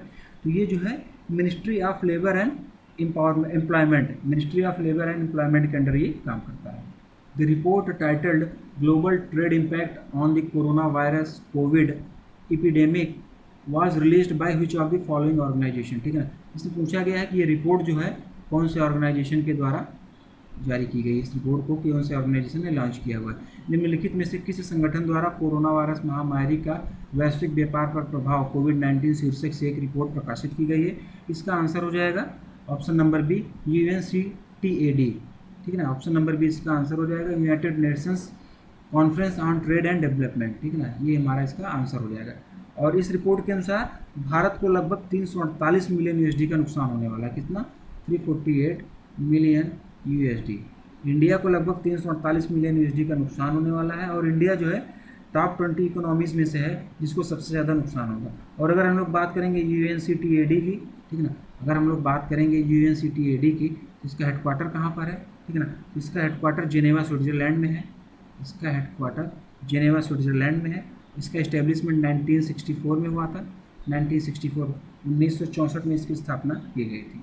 Sanjeev Nautiyal has reappointed as M D and C E O by which insurance company Sanjeev Nautiyal को किस बीमा कंपनी द्वारा एम डी और सी ई ओ के रूप में फिर से नियुक्त किया गया है? ऑप्शन आप लोगों के सामने, इसका आंसर हो जाएगा। Option number A State Bank of India life insurance company limited ठीक ना? S life insurance company limited ने जो है संजीव नोटियाल को फिर से एम और सीईओ के रूप में अपॉइंट किया हुआ है। और एसबीआई लाइफ का अगर हम लोग हेडक्वार्टर की बात करेंगे तो मुंबई में इसका हेडक्वार्टर हो जाएगा, ठीक है ना? मुंबई में इसका हेडक्वार्टर हो जाएगा और 2001 में इसकी स्थापना हुई थी। एसबीआई लाइफ इंश्योरेंस कंपनी की स्थापना 2001 में हुई थी। What is the name of mobile application launched by SEBI for the investors to lodge grievances निवेशकों की शिकायतों के निराकरण के लिए सेबी द्वारा शुरू किए गए मोबाइल एप्लीकेशन का नाम बताइए। ये सारे ऑप्शंस आप लोगों के सामने हैं और इसका आंसर आप लोग देने की कोशिश करिए। इसका जो आंसर हो जाएगा option number C SEBI SCORES SEBI ने जो है सेबी स्कोर्स नाम से एक जो है मोबाइल एप्लीकेशन लॉन्च किया हुआ है, जिसके माध्यम से जो निवेशक होंगे, जो इन्वेस्टर्स होंगे, अपनी शिकायत को सेबी तक कर सकते हैं। ठीक है ना? और अगर हम लोग बात करेंगे सेबी स्कोर्स की तो सेबी स्कोर्स को जो है हम लोग सेबी कंप्लेंट्स रीएड्रेस सिस्टम भी कहते हैं। और इसमें जिसके भी अगेंस्ट कंप्लेंट की जाएगी, इस एप्लीकेशन के माध्यम से इन्वेस्टर जो है, जिसके भी अगेंस्ट कंप्लेंट करेंगे, उसको तीस दिन के अंदर जो है, उस कंप्लेन का कोई ना कोई रेजोल्यूशन कोई ना कोई समाधान कर देना होगा, ठीक है ना? कुछ ना कुछ इस पर रिवर्ट करके बताना ही होगा। और बात यहाँ पर सेबी की हो रही है तो सेबी का हेडक्वार्टर मुंबई हो जाएगा। सेबी का हेडक्वार्टर मुंबई हो जाएगा। चेयरमैन कौन हो जाएँगे सेबी के? अजय कुमार त्यागी, ठीक ना? अजय त्यागी जो है वो सेबी के चेयरमैन हो जाएँगे। एज पर United Nations global compact U N G C India study India's female labour force participation declined from 34 percentage in 2006 to how much percentage in 2020 ठीक है ना? संयुक्त राष्ट्र ग्लोबल कॉम्पैक्ट भारत के अध्ययन के अनुसार, भारत में महिला श्रम बल की भागीदारी 2006 में चौंतीस प्रतिशत से घटकर 2020 में कितने प्रतिशत हो गई? ऑप्शन आप लोगों के सामने हैं और इसका जो आंसर हो जाएगा इसका आंसर हो जाएगा 24.8 option number B option number B घटकर कितनी हो गई थी? 24.8 परसेंटेज घटकर हो गई। यूएनजेसी ने जो है एक सौ तिरपन देशों में यह सर्वे कराया हुआ था। कितने देशों में? 153 टोटल 153 कंट्रीज़ में यह सर्वे कराया गया था, जिसमें ये पाया गया कि भारत में इकोनॉमिक जेंडर गैप जो है, वो पॉलिटिकल गैप से भी ज़्यादा है। और महिला लेबर फोर्स की भागीदारी 2006 में तो चौंतीस प्रतिशत थी। 2006 में तो चौंतीस प्रतिशत थी, लेकिन 2020 में ये घट कर चौबीस दशमलव आठ प्रतिशत हो गई है, ठीक है ना? और अगर यही महिला, ये भी उस रिपोर्ट में ये भी बताया गया कि अगर भारत में यही महिला इनकी जब भागीदारी हो जाए, इनकी इकोनॉमी में, इनकी जीडीपी में इनकी भागीदारी हो जाए तो इंडिया की जीडीपी जो है वो लगभग सत्ताईस प्रतिशत तक जा सकती है। अगर भारतीय महिलाएँ जो है, श्रम करने लगें, श्रम के लेबर फोर्स में अगर इनका काउंटिंग हो जाए ठीक है ना? तो इंडिया की जीडीपी जो है वो 27 परसेंट तक बढ़ सकती है। और यहाँ पर बात हो रही है यूएनजीसी की। यूएनजीसी की। इसका हेडक्वार्टर कहाँ पर हो जाएगा? न्यूयॉर्क यूएसए इसका हेडक्वार्टर न्यूयॉर्क यूएसए में हो जाएगा और इसकी स्थापना जो है 2000 में की गई। Which life insurance company going to provide football coaching to the under underprivileged girls aged 12 to 16 years under बचपन का रक्षाकरण प्रोग्राम कौन सी जीवन बीमा कंपनी ने बचपन का रक्षाकरण कार्यक्रम के तहत 12 से 16 वर्ष आयु की विशेषाधिकार प्राप्त लड़कियों को फुटबॉल कोचिंग प्रदान करने जा रही है? ठीक है ना ऑप्शन आप लोगों के सामने है और इसमें पूछा गया कि कौन सी जीवन बीमा कंपनी है जो बचपन का रक्षाकरण कार्यक्रम के तहत में जो है अंडर प्रिवलेज गर्ल्स को फुटबॉल की कोचिंग देने जा रहे हैं? तो इसका जो आंसर हो जाएगा option number E Tata A I A life insurance इसका आंसर हो जाएगा। Tata A I A life insurance और Mumbai based N G O Oscar foundation क्या नाम है उसका? Oscar foundation. ठीक है ना? Oscar foundation. इन दोनों ने मिलकर यह ये कोचिंग देने का फैसला किया हुआ है, ठीक है ना? और इसमें इस कोचिंग से फ़ायदा क्या क्या होगा? इससे जो है child labour school dropouts child marriage drug abuse में जो भी केसेस होते हैं, उसमें कमी आएगी, क्योंकि बच्चे खेल में इन्वॉल्व होंगे। कोचिंग, फुटबॉल कोचिंग उनको दी जाएगी बच्चों को स्कूल में, उनके पास टाइम नहीं होगा और अगर टाइम नहीं होगा तो गलत चीज़ों में नहीं जा पाएँगे। अपने आप को इंगेज रखेंगे किसी न किसी प्रोडक्टिव काम में। और यहाँ पर बात हो रही है टाटा एआईए की तो टाटा एआईए इसका हेडक्वार्टर कहाँ पर हो जाएगा? इसका हेडक्वार्टर मुंबई में हो जाएगा, ठीक ना? मुंबई, महाराष्ट्र में इसका हेडक्वार्टर हो जाएगा और उसके एमडी और सीईओ ऋषि श्रीवास्तव जो है टाटा एआईए के उसके एमडी और सीईओ हो जाएँगे Rishi Srivastava. Name the metro which tied up with Paytm to launch Q R based metro ticketing system उस मेट्रो का नाम बताइए जिसने क्यू आर आधारित मेट्रो टिकटिंग प्रणाली शुरू करने के लिए पेटीएम के साथ में एक समझौते पर हस्ताक्षर किए हैं। और इसका जो आंसर हो जाएगा option number C Hyderabad metro Hyderabad metro ने पेटीएम के साथ में मिलकर मेट्रो टिकटिंग के लिए क्यू आर बेस्ड जो है एक सिस्टम लॉन्च करने के लिए पेटीएम के साथ में एक समझौते पर हस्ताक्षर किया है। The Union Commerce Ministry has approved the proposal of TCS and DLF to establish special economic zones SEZs for the information sector in which of the following states. ठीक है ना? केंद्रीय वाणिज्य मंत्रालय ने निम्नलिखित में से किस राज्य में सूचना क्षेत्र के लिए विशेष आर्थिक क्षेत्र स्थापित करने के लिए टीसीएस और डीएलएफ के प्रस्तावों को मंजूरी दी? ऑप्शंस आप लोगों के सामने हैं और इसका आंसर होगा ऑप्शन नंबर ई हरियाणा और उत्तर प्रदेश। हरियाणा और Uttar Pradesh. Union ministry of commerce ने हरियाणा और उत्तर प्रदेश में स्पेशल इकोनॉमिक जोन बनाने के लिए जो है आदेश दिया है। और ये स्पेशल इकोनॉमिक जोन जो है, ये TCS और DLF के द्वारा बनाए जाएँगे। और इन्फॉर्मेशन के सेक्टर में आईटी के सेक्टर में इंफॉर्मेशन टेक्नोलॉजी के सेक्टर में जो है ये स्पेशल इकोनॉमिक जोन बनाया जाएगा। TCS जो है यूपी के नोएडा में एस सी स्थापित करेगी। TCS यूपी के नोएडा में स्पेशल इकोनॉमिक जोन बनाएगी। और जबकि DLF जो है, हरियाणा में जो है, दो इकोनॉमिक जोन बनाएगा। टीसीएस तो यूपी में एक ही बना रही है, लेकिन डीएलएफ हरियाणा में दो स्पेशल इकोनॉमिक जोन बनाएगा। टीसीएस का हेडक्वार्टर कहाँ पर है? मुंबई में। ठीक है ना? टीसीएस के हेडक्वार्टर मुंबई, महाराष्ट्र में है, ठीक है ना? और टी सी एस के चेयरमैन कौन है? यंत्र चंद्रशेखरन टी सी एस के चेयरमैन की अगर हम लोग बात करेंगे तो यन चंद्रशेखरन जो है, वो टी सी एस के चेयरमैन हैं। और बात करेंगे अगर हम लोग डीएलएफ की डीएलएफ यानी कि Delhi land and finance DLF का मतलब हो जाएगा दिल्ली एंड लैंड फाइनेंस और इसका हेडक्वार्टर कहाँ पर है? इसका हेडक्वार्टर गुरुग्राम में है, ठीक है ना? गुरुग्राम में जो है डीएलएफ का हेडक्वार्टर है। और डीएलएफ के चेयरमैन कौन हो जाएँगे? कौशल पाल सिंह। चलिए, अगला क्वेश्चन देखेंगे क्या कह रहा है। The book chronicles of change champions is based on which scheme पुस्तक क्रॉनिकल्स ऑफ़ चेन चैंपियंस की योजना पर आधारित है। ऑप्शन आप लोगों के सामने हैं और इसका जो आंसर होगा, इसका आंसर हो जाएगा ऑप्शन नंबर सी बेटी बचाओ, बेटी पढ़ाओ। ठीक है ना? ऑप्शन नंबर सी बेटी बचाओ, बेटी पढ़ाओ पर ये पुस्तक आधारित है और minister of women and child development Smriti Irani ने नई दिल्ली में इस बुक को रिलीज़ किया। और इस बुक में बेटी बचाओ, बेटी पढ़ाओ योजना के लिए किए गए 25 इनोवेटिव इनिशिएटिव के बारे में बताया गया ठीक है ना? बेटी बचाओ, बेटी पढ़ाओ स्कीम की अगर हम लोग बात करेंगे तो प्रधानमंत्री नरेंद्र मोदी ने 22 जनवरी 2015 को इसको लॉन्च किया था। ठीक है ना? बेटी बचाओ, बेटी पढ़ाओ स्कीम जो है 22 जनवरी 2015 को प्रधानमंत्री नरेंद्र मोदी के द्वारा हरियाणा के पानीपत में लॉन्च किया गया था। ठीक है ना? हरियाणा के पानीपत में इसको लॉन्च किया गया था। और ये पुस्तक जो है बेटी बचाओ, बेटी पढ़ाओ स्कीम पर आधारित है। एज पर draft Yes Bank reconstruction scheme 2020 RBI wants to alter the authorized authorized capital of new constituted bank to, ठीक है ना? यस बैंक रिकंस्ट्रक्शन स्कीम 2020 के मसौदे के अनुसार आरबीआई नए पुनर्गठित बैंक की अधिकृत पूंजी को कितने में बदलना चाहता है, कितनी करना चाहता है, ठीक है ना? और इसका जो आंसर हो जाएगा ऑप्शन नंबर डी पाँच हज़ार करोड़, ठीक है ना?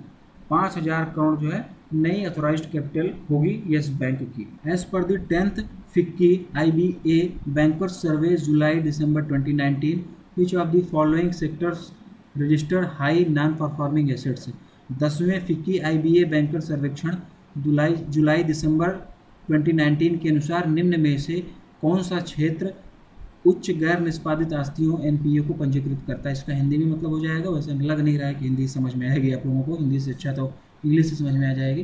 ठीक है ना? तो आप लोग इसका आंसर बताइए। इसका आंसर बताइए। तो इसका जो आंसर हो जाएगा, इसका आंसर हो जाएगा option number D infrastructure infrastructure sector इसमें जो है सबसे ज़्यादा एनपीए जो है मिला हुआ है अभी। अभी फिक्की और आईबीए की जो एक बैंकर सर्वे आया हुआ था, जुलाई से दिसंबर 2019 के लिए, जुलाई से दिसंबर 2019 के बीच के लिए एक सर्वे किया गया था, जिसके अनुसार इंफ्रास्ट्रक्चर सेक्टर में सबसे ज़्यादा एन आया हुआ है, अभी प्राप्त हुआ है। और ये कौन सा सर्वे था? टेंथ दसवां सर्वे था ये, ठीक है ना? और अगर हम लोग इस सर्वे के बारे में थोड़ा सा जाने तो फिक्की और आईबीए जो है, हर साल में दो बार इस सर्वे को करती है, ठीक है ना? दो बार, साल भर में दो बार इस सर्वे को किया जाता है। फिक्की और आईबीए मिलकर हर साल में दो बार बैंकों का सर्वे करते हैं और इससे बैंकिंग सेक्टर की जो करंट सिचुएशन होती है, उसका पता चलता है कि उसकी ऑपरेशनल कंडीशन क्या है, उसकी फिनेंशियल कंडीशन क्या है एनपीए कितना है एनपीए बढ़ रहा है कि नहीं बढ़ रहा है बैंकों का प्रॉफिट हो रहा है कि नहीं हो रहा है, ये सारी चीज़ें उसमें पता चलती हैं इस सर्वे में, ठीक है ना? और इस सर्वे का टाइम जो है, जो अभी ये सर्वे हुआ, ये जुलाई से दिसंबर के बीच के लिए हुआ था, ठीक है जुलाई से दिसंबर 2019 के लिए सर्वे किया गया था और इस सर्वे में टोटल 18 बैंकों ने शामिल किया गया था। इस सर्वे में टोटल 18 बैंकों को शामिल किया गया था, ठीक है ना? और ये बैंकें जो थी, सरकारी सेक्टर की कुछ बैंकें थी, कुछ प्राइवेट सेक्टर की बैंकें थी, कुछ फॉरेन बैंक थी, उन सभी को मिलाकर जो है सर्वे किया गया था। और इस सर्वे से ये भी पता चला कि एनपीए जो है 39 परसेंट की कमी आई हुई है। NPA में जो है टोटल एनपीए जो बैंकों को होता था, उसमें 39 परसेंट की कमी आई हुई है। लेकिन सबसे ज़्यादा एनपीए जो प्राप्त हुआ है, वो इंफ्रास्ट्रक्चर सेक्टर में हुआ है, ठीक है ना? और यहाँ पर बात हुई थी फिक्की और आईबीए की आईबीए की, फिक्की और आईबीए की। फिक्की का इस्टेब्लिशमेंट ईयर अगर हम लोग बात करेंगे, अगर हम लोग फिक्की के बारे में चीज़ें थोड़ा सा जानते हैं तो फिक्की की स्थापना कब हुई थी? 1927 में फिक्की की स्थापना हुई थी। फिक्की का श्रेय प्रेसिडेंट कौन है वर्तमान में? संगीता रेड्डी जो है ये फिक्की की करंट में प्रेसिडेंट है। फिक्की की अगर हम लोग हेडक्वार्टर की बात करेंगे, क्या हो जाएगा? न्यू दिल्ली ठीक है ना? न्यू दिल्ली जो है फिक्की का हेडक्वार्टर हो जाएगा और संगीता रेड्डी, ठीक है ना? संगीता रेड्डी ये जो फिक्की की चेयरमैन हो जाएँगी। और यहाँ पर बात हो रही है आईबीए की। ठीक है ना आई तो आई बी ए का इस्टेब्लिशमेंट कब हुआ था? 1946 में। 1946 में इसकी स्थापना हुई थी। इसका हेडक्वार्टर कहाँ पर आई बी ए का? इसका हेडक्वार्टर मुंबई में है, मुंबई, महाराष्ट्र में है। और अगर हम लोग बात करें चेयरमैन की तो आई बी ए के चेयरमैन कौन है? रजनीश कुमार। कौन है? रजनीश ठीक है ना? रजनीश कुमार जो है वो आई बी ए के चेयरमैन है, ठीक? तो ये थोड़ा सा क्वेश्चन के बारे में था और इसका जो आंसर हो जाएगा, इसका आंसर हो जाएगा option number D infrastructure sector में सबसे ज़्यादा एनपीए हुआ और टोटल एनपीए में 39 परसेंट की कमी आई हुई थी। इस सर्वे के अनुसार ये सर्वे जुलाई से दिसंबर 2019 के बीच में किया गया था। टोटल 18 बैंकें इसमें शामिल थी। चलिए नेक्स्ट क्वेश्चन देखेंगे। Moody's had lowered India's growth projection for the year 2020 from 5.4 percentage to what percentage due to the outbreak of corona virus Moody's ने कोरोना वायरस के प्रकोप के कारण वर्ष 2020 के लिए भारत के विकास के अनुमानों में पाँच दशमलव चार प्रतिशत से घटाकर कितनी कमी कर दी गई इसमें पूछा गया और ऑप्शन आप लोगों के सामने है। इसका आंसर हो जाएगा five point three option number A option number A यानी कि फाइव पॉइंट फोर से घटाकर five point three percentage India की जीडीपी किसके अनुसार? मूडीज के अनुसार हो जाएगी। Name the person who has become Asia's richest person as per Bloomberg billionaires index as on March of tenth 2020 उस व्यक्ति का नाम बताइए जो 10 मार्च 2020 तक ब्लूमबर्ग बिलियनियर्स इंडेक्स के अनुसार एशिया का सबसे अमीर व्यक्ति बन गया है। ऑप्शन आप लोगों के सामने हैं। इसका आंसर हो जाएगा option number D, Jack Ma. Jack Ma ये चाइनीज़ कंपनी अलीबाबा के ओनर हैं, ठीक है ना? इनको जो है एशिया का सबसे रिचेस्ट पर्सन का अवार्ड मिला हुआ है। मतलब इनको सबसे इस इंडेक्स के अनुसार एशिया के सबसे रिचेस्ट पर्सन बन गए हैं ये, ठीक है ना? और अगर हम लोग बात करेंगे मुकेश अम्बानी की तो मुकेश अम्बानी जो है एशिया में दूसरे नंबर पर है। ये दूसरे नंबर पर है इस रिपोर्ट के अनुसार और जैकमा जो है पहले नंबर पर है, ठीक है? चलिए अगला क्वेश्चन देखेंगे। Who has been appointed as the first ever ambassador of I D F C first bank I D F C first bank के पहले राजदूत के रूप में किसे नियुक्त किया गया? ऑप्शन आप लोगों के सामने और इसका answer Amitabh Bachchan. Option number B Amitabh Bachchan को I D F C first bank के फ़र्स्ट ब्रांड एम्बेसडर के रूप में, पहले ब्रांड एम्बेसडर के रूप में इनको नियुक्त किया गया है, अमिताभ बच्चन जी को। How much amount has been approved by State Bank of India to invest in Yes Bank as the part of R B I's Yes Bank limited reconstruction scheme 2020 भारतीय स्टेट बैंक ने आरबीआई की Yes Bank limited पुनर्निर्माण योजना 2020 के अंतर्गत निवेश करने के लिए कितनी राशि स्वीकृत की है? ऑप्शन आप लोगों के सामने है, ठीक है ना? अभी येस बैंक को पूरी तरीके से बंद, उसको बैन लगा दिया गया था, उसके बोर्ड ऑफ़ डायरेक्टर्स को बंद कर दिया गया था, ठीक है ना? उसके बाद में अभी आरबीआई ने जो है येस बैंक के लिए रिकन्स्ट्रक्शन स्कीम लाई है और उसमें SBI जो है कितना पैसा निवेश करने जा रहा है, ये इस क्वेश्चन में पूछा गया है। तो SBI जो है बहत्तर हज़ार पचास करोड़ रुपए निवेश करने जा रहा है। ऑप्शन नंबर सी इसका आंसर हो जाएगा। ऑप्शन नंबर सी बहत्तर हज़ार पचास करोड़ रुपए SBI निवेश करेगा। SBI के सेंट्रल बोर्ड ने बहत्तर हज़ार पचास करोड़ रुपए निवेश करने की मंजूरी दे दी है और इसके तहत में जो SBI है, यस बैंक का 725 करोड़ रुपए का 725 करोड़ इक्विटी शेयर खरीदेगा। S B I Yes Bank का 725 करोड़ इक्विटी शेयर खरीदेगा, जिसमें से कि प्रत्येक शेयर का दाम दस रुपये होगा। दस रुपये का एक शेयर होगा और टोटल जो है 725 इक्विटी शेयर खरीद कर येस बैंक में बहत्तर पच्चीस, सात हज़ार दो सौ पचास करोड़ रुपए जो है निवेश करेगा, ठीक है ना? और इस रिकन्स्ट्रक्शन स्कीम के तहत में एस अगले तीन सालों तक में अपनी होल्डिंग जो है येस बैंक में 26 प्रतिशत से कम नहीं कर सकती। यानी कि SBI अपनी होल्डिंग 26 प्रतिशत तक मेंटेन करके रखना होगा एसबीआई को अगले तीन सालों तक के लिए, ठीक है ना? अगले तीन सालों तक के लिए एसबीआई को अपनी होल्डिंग मिनिमम 26 प्रतिशत तक मेंटेन करके रखना होगा येस बैंक में, ठीक? येस बैंक की बात हो रही है और एसबीआई की बात हो रही है, दोनों का हेडक्वार्टर कहाँ पर है? आप लोग कमेंट करके बताएँगे, ठीक है ना? और इनके चेयरमैन और एमडी कौन है, ये आप लोग कमेंट करके बताएँगे। नेक्स्ट क्वेश्चन देखेंगे, इसमें क्या बोला गया है? Who has been appointed as the director on central board of R B I by the government of India Bharat सरकार द्वारा आरबीआई के केंद्रीय बोर्ड में निर्देशक के रूप में किसे नामित किया गया है? ठीक है ना? Who has been appointed as the director on the central board of RBI by the government of India और ऑप्शन आप लोगों के सामने हैं। इसका जो आंसर हो जाएगा, Debasish Panda. Option number A Debasish Panda को भारत सरकार की ओर से आरबीआई के सेंट्रल बोर्ड में नामित किया गया, उसके लिए नॉमिनेट इनको किया गया है। और देवाशीष पांडा की अगर हम लोग बात करेंगे तो ये करंट में डिपार्टमेंट ऑफ़ फाइनेंशियल सर्विसेज़ में सेक्रेटरी के रूप में काम कर रहे हैं। डिपार्टमेंट ऑफ़ फाइनेंशियल सर्विसेज़ में सेक्रेटरी के रूप में काम कर रहे हैं। और ये 1987 बैच के यूपी काडर के आईएएस अधिकारी हैं। यूपी काडर के आईएएस ऑफिसर हैं ठीक है ना? और इनको जो है आरबीआई के सेंट्रल बोर्ड में गवर्नमेंट ऑफ़ इंडिया की तरफ़ से नॉमिनेट किया गया है। चलिए नेक्स्ट क्वेश्चन देखेंगे। As per the Government of India's data, how much amount has spent under the Mahatma Gandhi National Rural Employment Guarantee Act मनरेगा इन 2017 टू 2020 भारत सरकार के आंकड़ों के अनुसार 2017 से 2020 के बीच में महात्मा गांधी राष्ट्रीय ग्रामीण रोज़गार गारंटी अधिनियम मनरेगा के तहत में कितनी राशि खर्च की गई? ऑप्शन आप लोगों के सामने है ठीक है ना? 2017 से 2020 के बीच में मनरेगा के तहत में कितनी राशि खर्च की गई है? इस क्वेश्चन में पूछा गया है और इसका आंसर हो जाएगा 1.8 lakh crore rupees option number A option number A 1.83 lakh crore जो है, इतने रुपए जो है इसमें खर्च किए गए।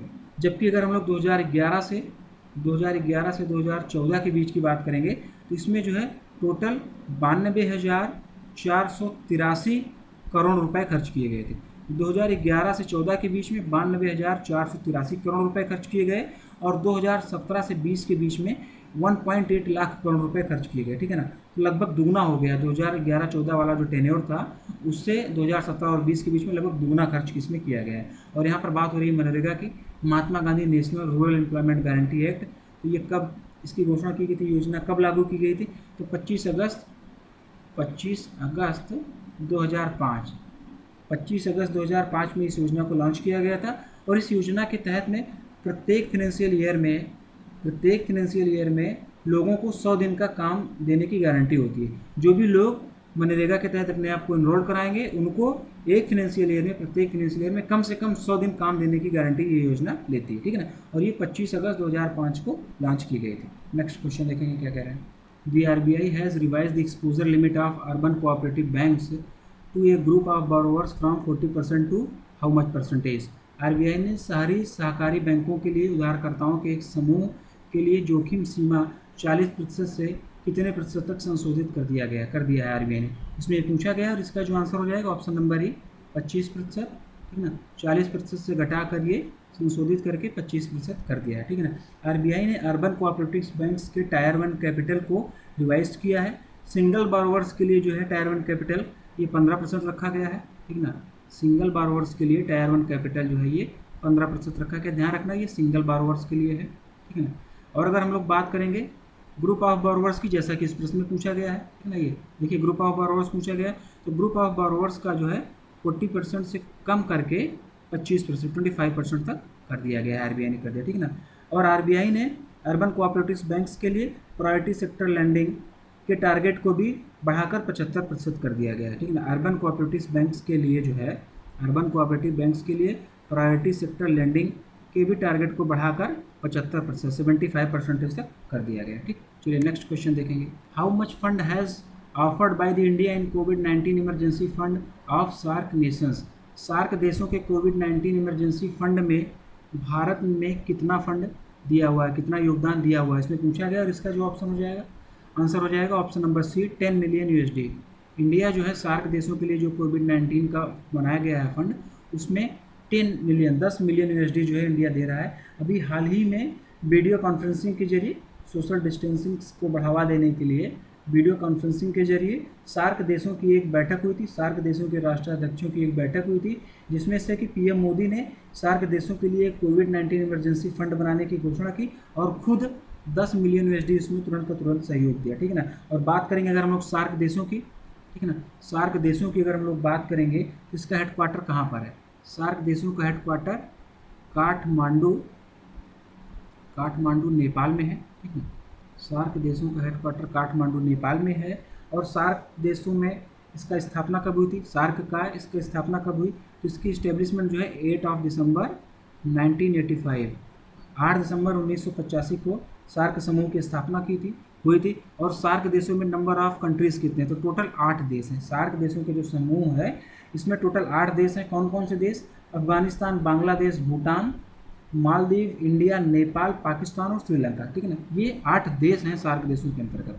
इसका हेडक्वार्टर काठमांडू, नेपाल में, और इसकी स्थापना जो है, आठ दिसंबर उन्नीस सौ पचासी को हुई थी। चलिए नेक्स्ट क्वेश्चन देखेंगे। Which e commerce company partnered with Aegon life insurance company to sell quick access life insurance policies किस ई कॉमर्स कंपनी ने quick access life insurance policy बेचने के लिए एगॉन लाइफ इंश्योरेंस कंपनी के साथ में साझेदारी की है और ऑप्शन आप लोगों के सामने दिए गए इसका आंसर जो हो जाएगा, ऑप्शन नंबर सी, फ्लिपकार्ट ने एगॉन लाइफ इंश्योरेंस कंपनी के साथ में इंश्योरेंस पॉलिसी को बेचने के लिए जो है पार्टनरशिप में साझेदारी की है और ये पॉलिसी जो है फ्लिपकार्ट के कस्टमर्स को, जो भी फ्लिपकार्ट के कस्टमर हैं अट्ठारह से पैंसठ साल के बीच में, एटीन से सिक्सटी फाइव ईयर्स ना? अट्ठारह से पैंसठ साल के जो भी फ्लिपकार्ट के कस्टमर्स हैं, उनको ये पॉलिसी दी जाएगी, उनके लिए पॉलिसी है और इसमें जो है एक लाख रुपए से दस लाख रुपए तक की पॉलिसी रहेगी। एक लाख रुपए से दस लाख रुपए तक की पॉलिसी इसमें दी जाएगी। ठीक? चलिए नेक्स्ट क्वेश्चन देखते हैं। The G S T on mobile phones was increase from twelve percent to how much percentage as on thirty ninth edition of G S T council meet held at New Delhi Nai Delhi में आयोजित उनतालीसवीं GST परिषद की बैठक में mobile phone पर GST दर को 12 प्रतिशत से बढ़ाकर कितने प्रतिशत कर दिया गया है? और इसका जो आंसर हो जाएगा 12 प्रतिशत से बढ़ाकर 18 प्रतिशत कर दिया गया है। Option number B option number B इसका आंसर हो जाएगा। और ये जीएसटी काउंसिल की कौन सी बैठक हुई थी? उनतालीसवीं थर्टी नाइन्थ मीटिंग थी ये जीएसटी काउंसिल की और नई दिल्ली में आयोजित की गई थी, ठीक है ना? नई दिल्ली में इसकी आयोजित, इसको आयोजन किया गया था। फिनेंस मिनिस्टर निर्मला सीतारमण ने इसकी अध्यक्षता की थी।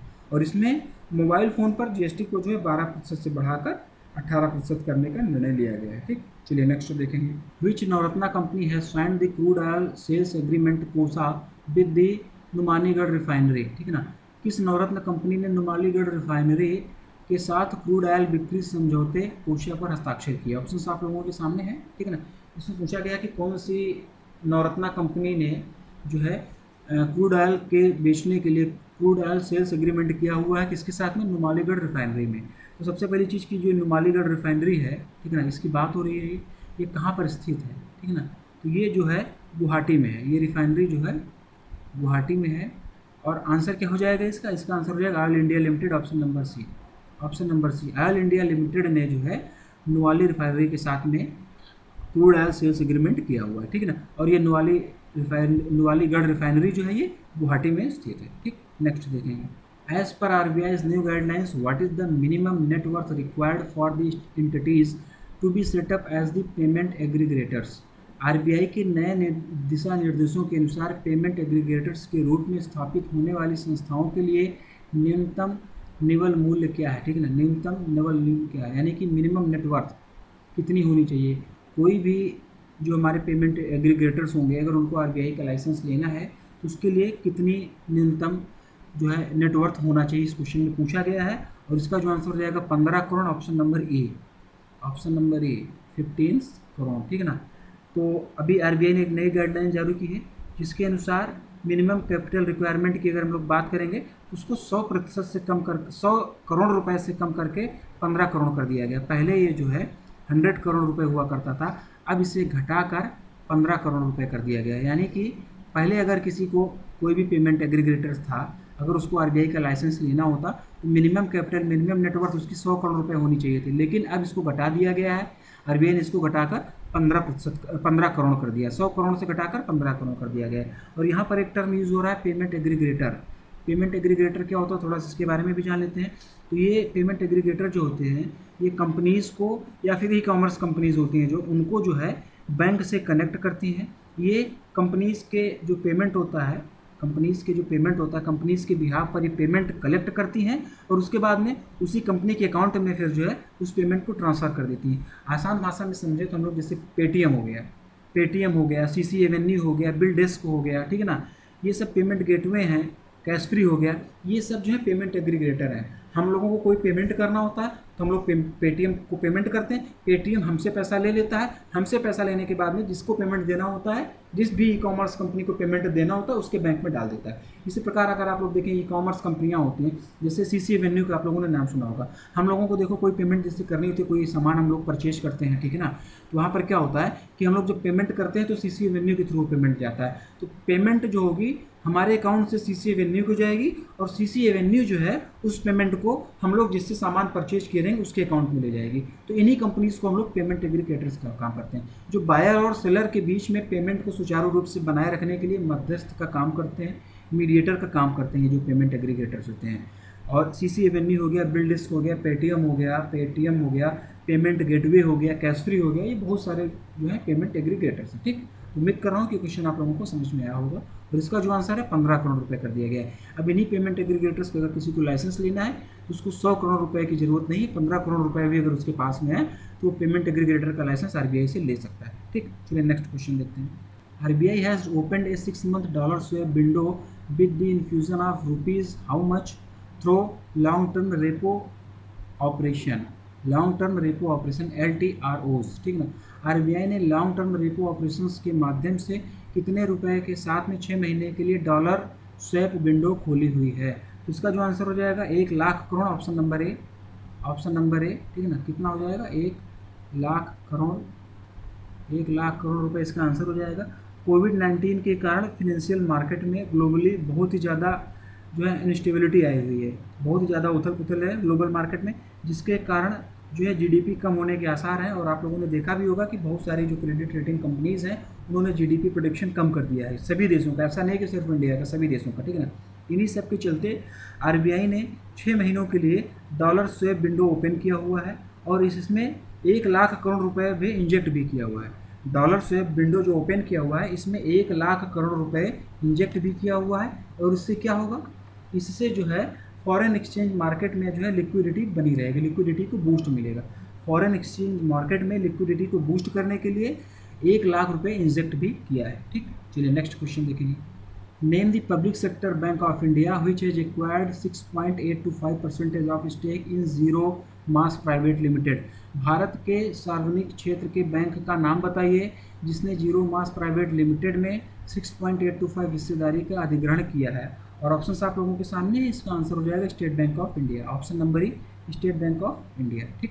चलिए नेक्स्ट देखते हैं। What is the approved fund under Pradhan Mantri Awas Yojana urban as per the union ministry of housing and urban affairs केंद्रीय आवास और शहरी मामलों के मंत्रालय के अनुसार प्रधानमंत्री आवास योजना शहरी के तहत अनुमोदित निधि क्या है? ऑप्शन आप लोगों के सामने है और इसका जो आंसर होगा, इसका आंसर हो जाएगा six point one six lakh crore छः दशमलव एक छः लाख करोड़ रुपए जो है इसकी निधि है, ठीक है ना? केंद्रीय आवास और शहरी मामलों मंत्रालय के अनुसार प्रधानमंत्री आवास योजना शहरी के तहत छः दशमलव एक छः लाख करोड़ रुपए जो है ये दिए गए, इतने अप्रूव किए गए, ठीक है ना? Union minister of housing and urban affairs Hardeep Singh Puri हैं। ध्यान रखना, इसके मिनिस्टर भी पूछे जा सकते हैं। तो हरदीप सिंह पुरी, ठीक है ना? हरदीप सिंह पुरी।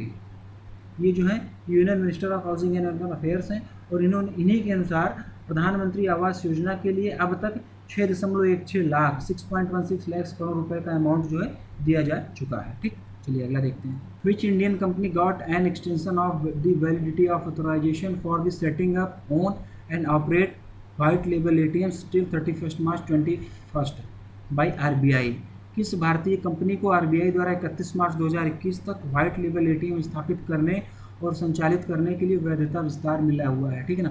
ऑप्शन आप लोगों के सामने है और इसका जो आंसर होगा, इसका आंसर हो जाएगा option number B Vakrangee limited option number B इसका आंसर हो जाएगा वक्रांगी लिमिटेड ठीक है ना? वाइट लेबल वक्रांगी लिमिटेड को वाइट लेबल एटीएम्स का सेटअप करने और ऑपरेट करने के लिए आरबीआई ने 31 मार्च 2021 तक इसकी वैलिडिटी बढ़ा दी है, ठीक है ना?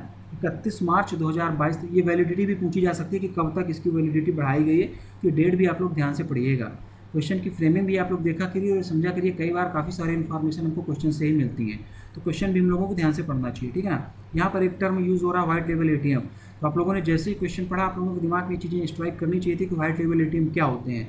पता था तो बहुत अच्छी बात, नहीं पता था तो पूछना चाहिए था आप लोगों को या गूगल करना चाहिए था। कैसे भी करके जानकारी आप लोगों को लेनी चाहिए, ठीक है ना?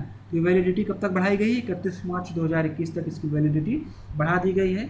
अब वो कांग्री लिमिटेड को जो है रिन्यूअल ऑफ़ ऑथराइजेशन लेटर दे दिया गया है। इसके तहत में अब वक्रांगली लिमिटेड जो है, अगले तीन सालों तक, ठीक है ना? अगले तीन सालों तक हर साल एक हज़ार एटीएम लगाना होगा इसको। अगले तीन सालों तक हर साल एक हज़ार ए यानी कि अगले तीन सालों में टोटल तीन हज़ार वाइट लेवल ए टी क्रांगी लिमिटेड को लगाना होगा, क्योंकि आरबीआई ने इसको जो है लाइसेंस भी दे दिया रिन्यूअल भी कर दिया इसकी पॉलिसी और ये जो ए लगेंगे, किस अनुपात में लगेंगे? One to two to three के अनुपात में। हर साल एक हज़ार एटीएम लगेंगे, अगले तीन सालों तक लगाना होगा तो कम से कम तीन हज़ार एटीएम लगेंगे और इसको one is to two is to three के रेशियो में लगाएँगे। इसका मतलब जितने भी ए टी एम एक हज़ार लगाए जाएँगे, वो एक, उसका एक परसेंट जो है, एक अर्बन इसमें लग जाएगा। दो रेशियो जो हो जाएगा, ये किसका? सेमी अर्बन में हो जाएगा और तीसरा क्या हो जाएगा? रूरल एरिया में। रूरल एरिया में, यानी कि एक हज़ार ए को जो है one one is to two is to three के रेशियो में अर्बन सेमी अर्बन और रूरल एरियाज़ में इसको अक्रांगी लिमिटेड को लगाना होगा व्हाइट लेवल एटीएम अब हम लोग बात करेंगे व्हाइट लेवल ए की। व्हाइट लेवल एटीएम क्या होता है? ये वो एटीएम होते हैं जो किसी भी नॉन बैंक एंटिटी द्वारा लगाए जाते हैं और ऑपरेट किए जाते हैं। मतलब कि वे सभी एटीएम जो बैंक के नहीं होते हैं बैंक इनको नहीं लगाता है। किसी दूसरी कंपनी द्वारा ये एटीएम लगाए जाते हैं और ऑपरेट किए जाते हैं। लेकिन ये काम बैंकों की ही तरफ़ के लिए करते हैं। ये काम बैंकों के लिए ही करते हैं। बैंकों की तरफ़ से ग्राहकों को सुविधा प्रदान करते हैं, लेकिन बैंकों द्वारा नहीं लगाए जाते हैं। बैंक इसको नहीं लगाती, कोई थर्ड पार्टी कोई तीसरी कंपनी जो है, इसको लगाती है और ये काम जो है बैंकों के लिए ही लेकिन करते हैं, ठीक है ना? और इन पर बैंकों का कोई अधिकार नहीं होता है। और ये जो व्हाइट लेवल ए होते हैं आरबीआई के पेमेंट एंड सेटलमेंट एक्ट दो हज़ार सात के अंतर्गत आते हैं। आरबीआई का पेमेंट एंड सेटलमेंट एक्ट 2007 है, उसके अंतर्गत ये जो है व्हाइट लेवल ए आते हैं। अभी आप लोगों ने इंडी कैश का नाम सुना होगा, ये व्हाइट लेवल ए ही होता है, ठीक? तो इसका जो आंसर हो जाएगा, इसका आंसर हो जाएगा option number B Vakrangee limited की वैलिडिटी जो है बढ़ाकर इकतीस मार्च दो हज़ार इक्कीस तक कर दी गई है। अब इसको अगले तीन सालों तक में एक एक हज़ार एटीएम हर साल लगाने होंगे व्हाइट लेवल ए ठीक? ठीक है नेक्स्ट देखेंगे। How much amount the R B I is going to infuse through open market operation to maintain liquidity in banking system ठीक है ना? बैंकिंग प्रणाली में लिक्विडिटी यानी कि तरलता बनाए रखने के लिए आरबीआई ओपन मार्केट ऑपरेशन के माध्यम से कितनी राशि उपलब्ध कराने जा रहा है, कितनी राशि जो है इन्फ्यूज़ करने जा रहा है बैंकिंग सिस्टम में। और इसका जो आंसर हो जाएगा दस हज़ार crore option number D option number D दस हज़ार करोड़ आरबीआई जो है बैंकिंग सिस्टम में लिक्विडिटी को मेंटेन करने के लिए दस हज़ार करोड़ रुपए ओपन मार्केट ऑपरेशन के माध्यम से इन्फ्यूज करने जा रहा है। ठीक? चलिए नेक्स्ट देखेंगे। Which payment bank is going to issue Visa virtual debit card to its customers कौन सा पेमेंट बैंक अपने ग्राहकों को वीज़ा वर्चुअल डेबिट कार्ड जारी करने जा रहा है? ऑप्शन आप लोगों के सामने है। तो इसका जो आंसर हो जाएगा, इसका आंसर हो जाएगा option number A Paytm payment bank Paytm payment bank जो है, अपने ग्राहकों को वीज़ा वर्चुअल डेबिट कार्ड जो है लॉन्च करने जा रहा है। 2020-21 के दौरान 10 मिलियन नए डिजिटल डेबिट कार्ड लॉन्च करने की योजना है। पेटीएम की योजना है कि 2020 और 21 के दौरान 20 और 21 के दौरान 10 लाख 10 लाख नए डिजिटल डेबिट कार्ड जो है लॉन्च किए जाएँ। और इससे पहले भी आर जो था, ये इससे पहले भी जो था पेटीएम ये रुपे डेबिट कार्ड लॉन्च कर चुका है। पहले जो है पेटीएम ने रुपे डेबिट कार्ड लॉन्च किया था, ठीक है ना? अब जो है Paytm Visa virtual debit card launch कर रहा है और 2020 और 21 के दौरान 10 लाख कार्ड लॉन्च करने की इसकी योजना है, ठीक है ना? और इस वीज़ा वर्चुअल डेबिट कार्ड से जो है इंटरनेशनल ट्रांजेक्शन भी किए जा सकेंगे, ठीक? चलिए नेक्स्ट देखते हैं। Which private sector bank enter into a partnership with Bharti AXA insurance company to roll out insurance plans covering COVID nineteen किस निजी क्षेत्र के बैंक ने कोविड नाइन्टीन को कवर करने वाली बीमा योजनाओं को पूरा करने के लिए भारतीय एक्साई बीमा कंपनी के साथ में साझेदारी की है ऑप्शन आप लोगों के सामने है, ठीक है ना? कौन सी बैंक ने, ठीक है ना? कौन से प्राइवेट बैंक ने कोविड नाइन्टीन प्लान्स को बेचने के लिए भारतीय एक्सा लाइफ इंश्योरेंस के साथ में एक एग्रीमेंट पर हस्ताक्षर किए समझौते पर हस्ताक्षर किए तो इसका जो आंसर हो जाएगा इसका आंसर हो जाएगा DBS bank option number A option number A DBS bank ठीक है ना? Development bank of Singapore DBS bank का पूरा नाम क्या हो जाएगा? डेवलपमेंट बैंक ऑफ़ सिंगापुर ठीक है ना? ये जो है development bank of Singapore bank की सब्सिडरी भी है और इसे जो है, इस प्लान के तहत में अगर कोई भी डी कस्टमर कोरोना के कारण 10 दिनों तक हॉस्पिटलाइज होता है तो उसे पाँच हज़ार रुपये का पर डे इंश्योरेंस कवर अगले 30 दिनों के लिए दिया जाएगा, ठीक है ना? कोई भी कस्टमर डीबीएस बैंक का कोरोना पॉजिटिव पाया जाता है तो उसे 10 दिन और 10 दिनों तक हॉस्पिटलाइज होता है। तो उसे पाँच हज़ार रुपये का पर डे इंश्योरेंस दिया जाएगा और ये इंश्योरेंस जो है तीस दिनों के लिए दिया जाएगा। टोटल तीस दिनों के लिए फाइव थाउज़ेंड रुपीज़, ठीक ना, पर डे पर डे का इंश्योरेंस DBS बैंक की तरफ़ से दिया जाएगा। और यहाँ पर बात हो रही है DBS बैंक की तो डी बैंक का हेडक्वार्टर इंडिया में कहाँ पर क्योंकि सिंगापुर बेस्ड बैंक है ये, और इंडिया में जो इसका हेडक्वार्टर है इंडिया में इसका हेडक्वार्टर मुंबई में है, ठीक है ना। और यहाँ पर भारतीय इच्छा की भी बात हुई है। तो भारतीय इच्छा का भी अगर हम लोग हेडक्वार्टर की बात करेंगे तो ये भी मुंबई, महाराष्ट्र में है कहाँ पर? मुंबई, महाराष्ट्र में भी इसका हेडक्वार्टर है। Ex chairman of S B I Arundhati Bhattacharya resign from the CRISIL board where is the headquarter of CRISIL S B I की पूर्व अध्यक्ष अरुंधति भट्टाचार्य ने क्रिसिल बोर्ड से इस्तीफा दे दिया है। क्रिशिल का मुख्यालय कहाँ पर है? इसमें पूछा गया क्रिसिल का मुख्यालय कहाँ पर है? तो option number A Mumbai. CRISIL का मुख्यालय जो है मुंबई में है और क्रिसिल क्या है? ये क्रेडिट रेटिंग एक एजेंसी है। क्रेडिट रेटिंग एजेंसी क्रिसिल है, इसका मुख्यालय मुंबई में है।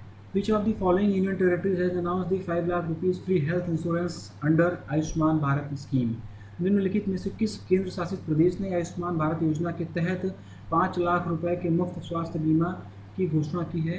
ठीक है तो ऑप्शन आप लोगों के सामने और इसका जो आंसर हो जाएगा Jammu and Kashmir option number C option number C Jammu and Kashmir ने जो है आयुष्मान भारत योजना के तहत में जो है, पाँच लाख रुपए का फ्री हेल्थ इंश्योरेंस की घोषणा की हुई है, ठीक है ना? आयुष्मान भारत प्रधानमंत्री जन आरोग्य योजना के तहत ये घोषणा की गई है और जम्मू कश्मीर के एलजी गिरीश चंद्र मुर्मू हो जाएँगे कैपिटल की अगर हम लोग बात करेंगे तो इसकी कैपिटल क्या हो जाएगी? श्रीनगर। श्रीनगर, ठीक है ना? श्रीनगर जो है कैपिटल समर की होगी। जम्मू कश्मीर की दो कैपिटल हैं। श्रीनगर जो हो जाएगी, समर कैपिटल हो जाएगी और जम्मू की अगर हम लोग बात करेंगे, जम्मू की, ये विंटर की कैपिटल है, ठीक है ना? और यहाँ के गवर्नर गिरीश मुर्मू हो जाएँगे। चलिए नेक्स्ट देखेंगे। Who is the head of the eight member finance committee constituted by the finance commission to review the physical consolidation road map of the central and state government राज्य और केंद्र सरकार के राजकोषीय समाकेशन के नक्शे की समीक्षा करने के लिए वित्त आयोग द्वारा गठित आठ सदस्यीय वित्त समिति का प्रमुख कौन होता है? कौन है? और इसका जो आंसर हो जाएगा, इसका आंसर हो जाएगा Nand Kishore Singh option number D Nand Kishore Singh. और यही जो है फिफ्टीन फिनेंस कमीशन के चेयरमैन भी। पंद्रहवें वित्त आयोग के हेड भी यही हैं। फिफ्टींथ फिनेंस कमीशन के चेयरमैन नंद किशोर जी ही हैं। नंद किशोर सिंह जी हैं और इन्हें ही जो है, इस कमेटी का हेड बनाया गया है। ठीक है? चलिए अगला क्वेश्चन देखेंगे, क्या बोला गया है इसमें। A special train Swavalamban express is launched by which financial institute एक विशेष ट्रेन स्वावलंबन एक्सप्रेस किस वित्तीय संस्थान द्वारा शुरू की गई है? ऑप्शन आप लोगों के सामने है। इनके सबके हेडक्वार्टर आप लोगों को पता होना चाहिए, नहीं पता है तो पता करिए आप लोग। और इसका जो आंसर होगा option number B SIDBI SIDBI SIDBI का हेडक्वार्टर मैं बता दे रहा हूँ कहाँ पर है। सिडबी का हेडक्वार्टर लखनऊ यूपी में है। ठीक ना? सिडबी का हेडक्वार्टर लखनऊ यूपी में है। बाकी इनका सबका हेडक्वार्टर आप लोगों को पता करना है। आप लोगों को पता होना चाहिए, आप लोग कमेंट करके बताएँगे। और ये जो ट्रेन है स्वावलंबन एक्सप्रेस ये लखनऊ से चलाई जाएगी। कब चलाई जाएगी? पाँच जून 2020 अभी तक की प्लानिंग के अनुसार पाँच जून 2020 को ये ट्रेन लखनऊ से चलाना है। अगर कोरोना की वजह से लॉकडाउन ख़त्म हुआ तो आगे की क्या प्लानिंग हुई ये नहीं पता, लेकिन अभी तक की जो करंट अफेयर्स है, अभी तक की जो न्यूज़ है, उसके हिसाब से इसको पाँच जून 2020 को लखनऊ से ये चलाना है और यह ट्रेन जो है पंद्रह दिनों तक के लिए चलाई जाएगी और ग्यारह शहरों में जाएगी। फिफ्टीन डेज़ के लिए चलाई जाएगी और ग्यारह सिटीज़ में ये जाएगी, ठीक ना? ग्यारह सिटीज़ में जाएगी और लगभग सात हज़ार किलोमीटर की जर्नी करेगी। लगभग सात हज़ार किलोमीटर की जर्नी करेगी और इस दौरान ये जो है, बीस से लेकर पैंतीस साल के जो युवाओं हैं, जो यंगस्टर हैं, बीस से लेकर पैंतीस साल तक के, उनके बीच में एंटरप्रेन्योरशिप को बढ़ावा देने के लिए लगभग बीस वर्कशॉप का भी आयोजन करेगी। ट्वेंटी वर्कशॉप बीस वर्कशॉप भी जो है आयोजित किए जाएँगे अगले पंद्रह दिनों तक, ग्यारह विभिन्न डिफरेंट शहरों में। और इसका मुख्य उद्देश्य जो है, प्रधानमंत्री नरेंद्र मोदी का जो सपना है फाइव ट्रिलियन इकोनॉमी का इंडिया को फाइव ट्रिलियन इकोनॉमी बनाना उसी की इंफॉर्मेशन उसी के बारे में लोगों को सूचना देना है। और प्रधानमंत्री मोदी ने जो लक्ष्य रखा है फाइव ट्रिलियन इकोनॉमी का, वो कब के लिए रखा हुआ? क्वेश्चन ये भी बन के आ सकता है कि प्रधानमंत्री ने फाइव ट्रिलियन इकोनॉमी अचीव करने के लिए कब तक का लक्ष्य रखा है? तो 2024 से लेकर 2025 2024-25 के बीच में इंडिया को फाइव ट्रिलियन इकोनॉमी बनाने का लक्ष्य प्रधानमंत्री नरेंद्र मोदी ने रखा है। सिडबी का हेडक्वार्टर मैंने बता दिया था, लखनऊ में है। सिडबी के चेयरमैन आप लोग कमेंट करके बताइए। या मैं ही बता रहा हूँ, सिडबी के चेयरमैन कौन हो जाएँगे? मोहम्मद मुस्तफ़ा। मोहम्मद मुस्तफ़ा जो है, सिडबी के चेयरमैन हो जाएँगे। लेकिन इनके सबके बाकी के आपके हेडक्वार्टर आप लोगों को पता होना चाहिए, ठीक? चलिए अगला क्वेश्चन देखते हैं, क्या बोला गया इसमें। Name the non life insurance company which introduced a one year long Covid nineteen protection cover for Covid positive cases for the age group of 18 to 75 उस गैर जीवन बीमा कंपनी का नाम बताइए, जिसने कोविड पॉजिटिव मामलों के लिए 18 से 75 वर्ष आयु वर्ग के लिए एक वर्ष की अवधि का कोविड 19 प्रोटेक्शन कवर पेश किया है। ठीक है ना? और इसका जो आंसर हो जाएगा, इसका आंसर हो जाएगा option number A I C I C Lombard. I C I C Lombard इसका आंसर हो जाएगा। और ये जो है I C I C Lombard जो है, ये प्राइवेट सेक्टर की नॉन लाइफ इंश्योरेंस कंपनी है। और इसके तहत में जो है, अठारह से पचहत्तर साल के लोगों को इंश्योरेंस कवर दिया जाएगा। एक सौ उनचास रुपये के प्रीमियम पर, एक सौ उनचास रुपये के प्रीमियम पर जो है एक सौ उनचास रुपये के प्रीमियम पर जो है ये इंश्योरेंस कवर दिया जाएगा, ठीक है ना? और ये आई सी आई जो है इसका आंसर हो जाएगा, ठीक? चलिए नेक्स्ट देखेंगे। Fitch rating in its global economic outlook 2020 lower the India's growth forecast for the financial year 21 two ठीक है ना? फिच रेटिंग ने अपने ग्लोबल इकोनॉमिक आउटलुक 2020 2020 में एक रिपोर्ट पब्लिश की। उसके अनुसार वित्त वर्ष 2021 के लिए भारत के विकास के अनुमान को घटाकर कितना कर दिया गया इसमें पूछा गया है तो घटाकर 5.1 परसेंट कर दिया गया। कितना? 5.1 परसेंटेज कर दिया गया। और पहले ये जो था 5.6 परसेंट था। पहले फिच ने जो है इंडिया की जीडीपी 5.6 परसेंट प्रोडिक्ट की थी। और बाद में जब ये कोविड की वजह से, कोरोना की वजह से बहुत सारे उथल पुथल हो गया मार्केट में बहुत ज़्यादा दिक्कतें आ गई हैं, ठीक है ना? तो उस वजह से जो है ये जीडीपी प्रोडक्शन जो है तो इसका जीडीपी प्रोडक्शन जो है ये 5.6 परसेंट से घटाकर 5.1 परसेंटेज कर दिया गया, ठीक है ना? और अगर हम लोग बात करें इसकी फिच की तो फिच क्या है? फिच जो है क्रेडिट रेटिंग एजेंसी है US based credit rating agency है, और इसका हेडक्वार्टर जो है, इसका हेडक्वार्टर न्यूयॉर्क यूएसए में है। न्यूयॉर्क यूएसए में इसका हेडक्वार्टर है, ठीक? चलिए अगला देखते हैं। Who among the following has been appointed as the additional director in Yes bank board by RBI for the period of two years with effect from 26 March 2020 निम्नलिखित में से किसे 26 मार्च 2020 से दो वर्ष की अवधि के लिए आरबीआई द्वारा यस बैंक बोर्ड में अतिरिक्त निर्देशक के रूप में नियुक्त किया गया? ऑप्शन आप लोगों के सामने है, ठीक है ना? ऑप्शन आप लोगों के सामने है। रामा सुब्रमण्यन गांधी, अनंत Narayan Gopal Krishnan Deenbandhu Mohapatra.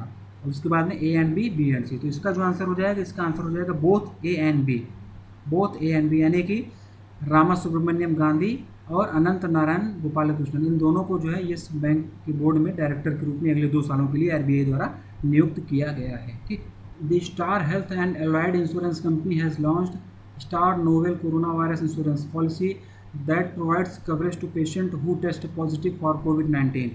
Where is the headquarter of Star Health located? Star Health and Allied Insurance Company ने star novel corona virus insurance policy launch किया है जो उन मरीजों को कवरेज प्रदान करेगी जो कोरोना 19 से संक्रमित हैं, स्टार हेल्थ का मुख्यालय कहाँ पर? ठीक है ना? तो जिसका आंसर हो जाएगा, इसका आंसर हो जाएगा Chennai, Tamil Nadu option number A Star Health का मुख्यालय जो है चेन्नई, तमिलनाडु में है। तो इस क्वेश्चन को सिर्फ़ यही नहीं खत्म कर देना है, इस क्वेश्चन से सिर्फ़ इतना ही नहीं सीखना है कि स्टार हेल्थ का हेडक्वार्टर कहाँ पर है। इस क्वेश्चन को ढंग से पढ़ना है, इसमें कुछ इन्फॉर्मेशन और भी दी गई है। कई बार हम लोगों को क्वेश्चन की फ्रेमिंग को भी ध्यान से देखना होता है क्वेश्चन को किसी भी तरीके से फ्रेम किया जा सकता है। इस क्वेश्चन से हमें एक इन्फॉर्मेशन ये भी मिलती है कि स्टार हेल्थ ने और एलाइड इंश्योरेंस ने दोनों ने मिलकर टाइप करके एक हेल्थ पॉलिसी जो है इंश्योरेंस पॉलिसी लॉन्च की है। तो क्वेश्चन ये भी बन के आ सकता था कि star novel corona virus corona virus insurance policy कौन सी दो कंपनियों ने मिलकर लॉन्च किया है? तो उस केस में जो है इसका आंसर हमारा क्या हो जाता है? Star Health and allied health insurance ठीक है ना? क्वेश्चन की फ्रेमिंग के ऊपर चीज़ें डिपेंड करती हैं। क्वेश्चन को सिर्फ़ पढ़ के निकल नहीं जाना होता है। क्वेश्चन को ध्यान से पढ़ना चाहिए। कई बार काफ़ी सारी इन्फॉर्मेशन हमको क्वेश्चन से ही मिलती है ठीक? तो यहाँ पे क्वेश्चन ये भी फ्रेम हो सकता था जैसा अभी आपने आप, मैंने आपको बताया। तो इसलिए आप लोग क्वेश्चन को ध्यान से पढ़ा कीजिए ठीक है? चलिए अगला क्वेश्चन देखेंगे। Who is the head of a sixteen member panel constituted by the IRDAI to strengthen its guidelines on corporate governance? ठीक है ना? कॉरपोरेट प्रशासन पर अपने दिशा निर्देशों को मज़बूत करने के लिए आईआरडीआई द्वारा गठित 16 सदस्यीय पैनल का प्रमुख कौन है? तो इसका जो आंसर हो जाएगा प्रवीण कुटुम्बे ऑप्शन नंबर ए, आईआरडीआई ने जो एक 16 लोगों का एक पैनल बनाया हुआ है, जो कि कॉरपोरेट गवर्नेंस के बारे में उसको मज़बूत करने के लिए गाइडलाइन बनाएँगे, ठीक है ना? उसके बारे में जो अपने सुझाव प्रस्तुत करेंगे, उसके बारे में जो है डाटा कलेक्ट करेंगे, उसके बारे में एक रिसर्च करके, एनालिसिस करके रिपोर्ट बनाएँगे, ठीक है और उस पैनल का हेड कौन है? उस पैनल का हेड प्रवीण कुटुम्बे जी हैं, ठीक है ना?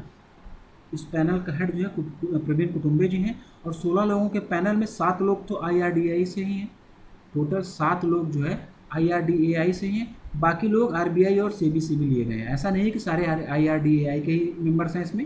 इसमें सेबी और आरबीआई दोनों से लोगों को लिया गया दोनों लोगों से दोनों मतलब संस्थाओं से लोगों को मिलाकर ये सोलह लोगों का पैनल बनाया गया है, जिसके हेड प्रवीण कुटुम्बे जी हैं। और यहाँ पर बात आई की हो रही है।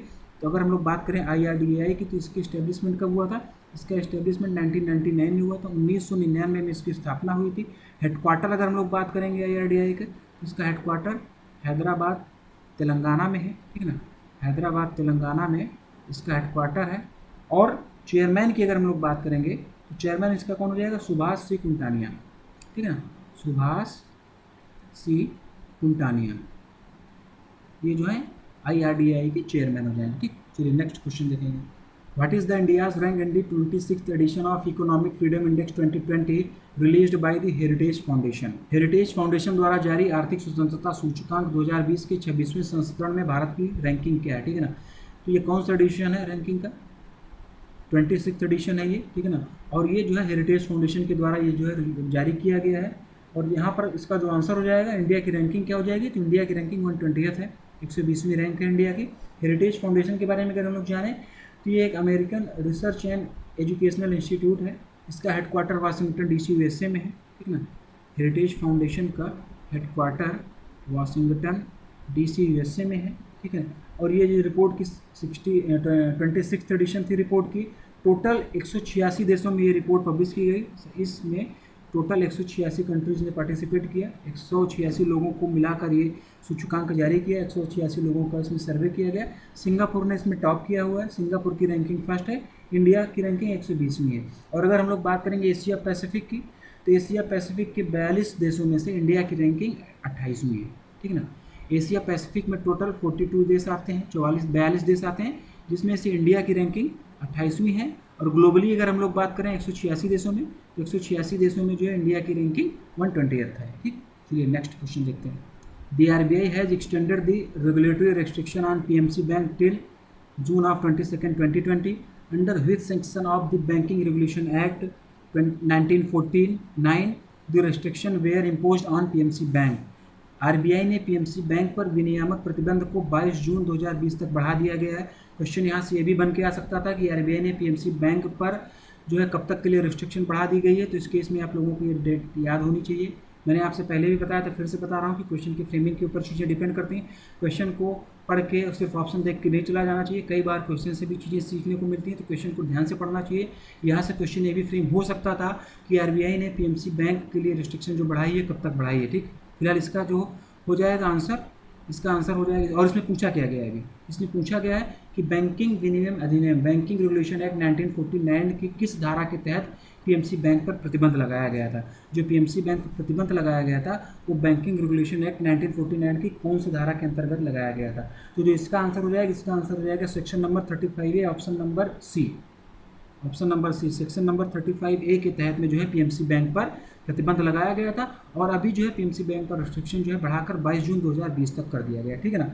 और इसके साथ में आरबीआई ने जो है पीएमसी बैंक के बोर्ड ऑफ़ डायरेक्टर्स को पीएमसी बैंक के मैनेजमेंट को इसको भंग कर दिया गया, इसको ख़त्म कर दिया गया है। और ex RBI official J B Bhoria नाम सुनिए इनका आप लोग लिखिए ध्यान से जे बी भोरिया ये एक्स आरबीआई ऑफिशियल हैं, पहले आरबीआई में काम करते थे, इनको जो है पीएमसी बैंक का नया एडमिनिस्ट्रेटर बनाया है, ठीक? चलिए नेक्स्ट क्वेश्चन देखेंगे। Which bank has launch the prepaid card InCaSo किस बैंक ने प्रीपेड कार्ड इनकासो लॉन्च किया है? ऑप्शंस आप लोगों के सामने हैं, ठीक है ना? और इन सभी बैंक्स के हेडक्वार्टर्स और टैगलाइन आप लोगों को पता होनी चाहिए, ठीक है ना? हेडक्वार्टर्स और टैगलाइन आप लोगों को पता होनी चाहिए। और इसका जो आंसर हो जाएगा, इसका आंसर हो जाएगा option number A Karur Vysya bank. Option number E Karur Vysya bank.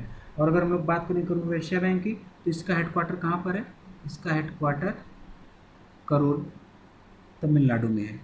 और टैग लाइन टैग लाइन अगर हम लोग बात करेंगे तो इसकी टैग लाइन हो जाएगी smart way to bank smart way to bank जो है, करोड़ वैश्य बैंक की टैग लाइन हो जाएगी। और इनकासू एक वर्ड यहाँ पर यूज़ हुआ है, ठीक है ना? इनकासू। इनकासू का मतलब तमिल में क्या होता है? माई कैश तमिल में इसका मतलब होता है माई कैश ठीक है ना? तो करोड़ वैश्य बैंक ने जो है प्रीपेड कार्ड जो है इनकासू लॉन्च किया हुआ है। केंद्र सरकार की डिजिटल इंडिया इनिशिएटिव को प्रमोट करने के लिए इस बैंक ने इंडिया का पहला prepaid wallet card InCaSo launch किया हुआ है। ये क्वेश्चन इसलिए भी महत्वपूर्ण हो जाता है, क्योंकि ये इंडिया का पहला प्रीपेड वॉलेट कार्ड है, पहला प्रीपेड वॉलेट कार्ड है। इसलिए भी ये क्वेश्चन महत्वपूर्ण बनता है। क्वेश्चन इस तरीके से भी फ्रेम किया जा सकता था कि इंडिया का पहला प्रीपेड वॉलेट कार्ड कौन सा है। तो ये इनकासू हो जाएगा और ये करुण वैश्या बैंक द्वारा जो है ये लॉन्च किया गया इसका हेडक्वार्टर करुण तमिलनाडु में है। इसकी टैग लाइन हो जाएगी स्मार्ट वे टू बैंक ठीक? चलिए नेक्स्ट क्वेश्चन देखेंगे। Name the first Indian bank to launch the Covid nineteen emergency credit line C E C L to provide funds to business affected by the infectious corona virus ठीक है ना? संक्रामक corona virus से प्रभावित व्यवसायों को धन प्रदान करने के लिए कोविड नाइन्टीन आपातकालीन क्रेडिट लाइन लॉन्च करने वाले पहले भारतीय बैंक का नाम बताना है। ऑप्शंस आप लोगों के सामने दिए गए हैं और इन सभी बैंक्स के हेडक्वार्टर्स ठीक है ना? और इनकी टैग लाइन इनकी टैग लाइन आप लोगों को पता होनी चाहिए, ये आपको कमेंट करके बताएँगे। और इसका जो आंसर हो जाएगा, इसका आंसर हो जाएगा option number C State Bank of India State Bank of India ने कोरोना से अफेक्टेड बिज़नेस की मदद करने के लिए, जो भी बिज़नेस कोरोना से प्रभावित हुए, उनकी मदद करने के लिए Covid nineteen emergency credit line जो है, ये लॉन्च किया हुआ है। इसके माध्यम से वो जो है बिजनेसेस को क्रेडिट लाइन देगी, उनको फंड प्रदान करेगी। स्टेट बैंक ऑफ़ इंडिया इसका आंसर हो जाएगा, ठीक है ना? और इस क्रेडिट लाइन के तहत में जो बिजनेसमैन को लोन दिया जाएगा, जो उनको फंड दिया जाएगा, उस पर जो है seven point two five percent का इंटरेस्ट लगेगा और ये फिक्स्ड है। ये फिक्स्ड इंटरेस्ट है, इससे ज़्यादा इंटरेस्ट और नहीं लगेगा। Seven point two five percent का इंटरेस्ट फिक्स्ड इंटरेस्ट जो है कस्टमर्स को देने होंगे और इसकी अवधि जो होगी, इसका टाइम ड्यूरेशन जो होगा ट्वेल्व मंथ बारह महीनों के लिए ये लोन दिया जाएगा, ठीक है ना? और मैक्सिमम कितना लोन दिया जा सकता है? क्वेश्चन ये भी पूछा जा सकता है कि Covid nineteen emergency credit line के द्वारा, जो भी एसबीआई के द्वारा लॉन्च की गई है मैक्सिमम कितने रुपए तक का लोन दिया जा सकता है? तो मैक्सिमम जो है 200 करोड़ रुपए तक का लोन दिया जा सकता है। 7.25 परसेंट इंटरेस्ट रेट पर फिक्स्ड इंटरेस्ट रेट है ये, और ये 12 महीने के लिए जो है ये रेट ये 12 महीने के लिए जो है ये लोन दिया जाएगा, ठीक? चलिए नेक्स्ट देखेंगे। What is the maximum limit of on landing allowed for an for for the term lending component under agriculture per borrower as per revised norms of RBI. NBFC के लिए टर्म लेंडिंग घटक के लिए RBI के संशोधित मानदंडों के अनुसार प्रति उधारकर्ता के तहत कृषि ऋण की अधिकतम सीमा क्या है? हिंदी अगर ना समझ में आए तो इंग्लिश आसानी से आप लोग समझ लीजिएगा। हिंदी का ट्रांसलेशन यही था, ठीक है ना? और इसका जो आंसर हो जाएगा, इसका आंसर हो जाएगा दस lakh option number C option number C दस लाख इसका आंसर हो जाएगा। दस लाख रुपये पर बार होगा ठीक है ना? दस लाख रुपये पर बार और इसका आंसर हो जाएगा। माइक्रो एंड स्मॉल इंटरप्राइजेस के लिए बीस लाख रुपए पर बार और आर के नए नॉर्म्स के अनुसार माइक्रो और स्मॉल इंडस्ट्रीज़ के लिए जो है बीस लाख रुपए, ठीक ना?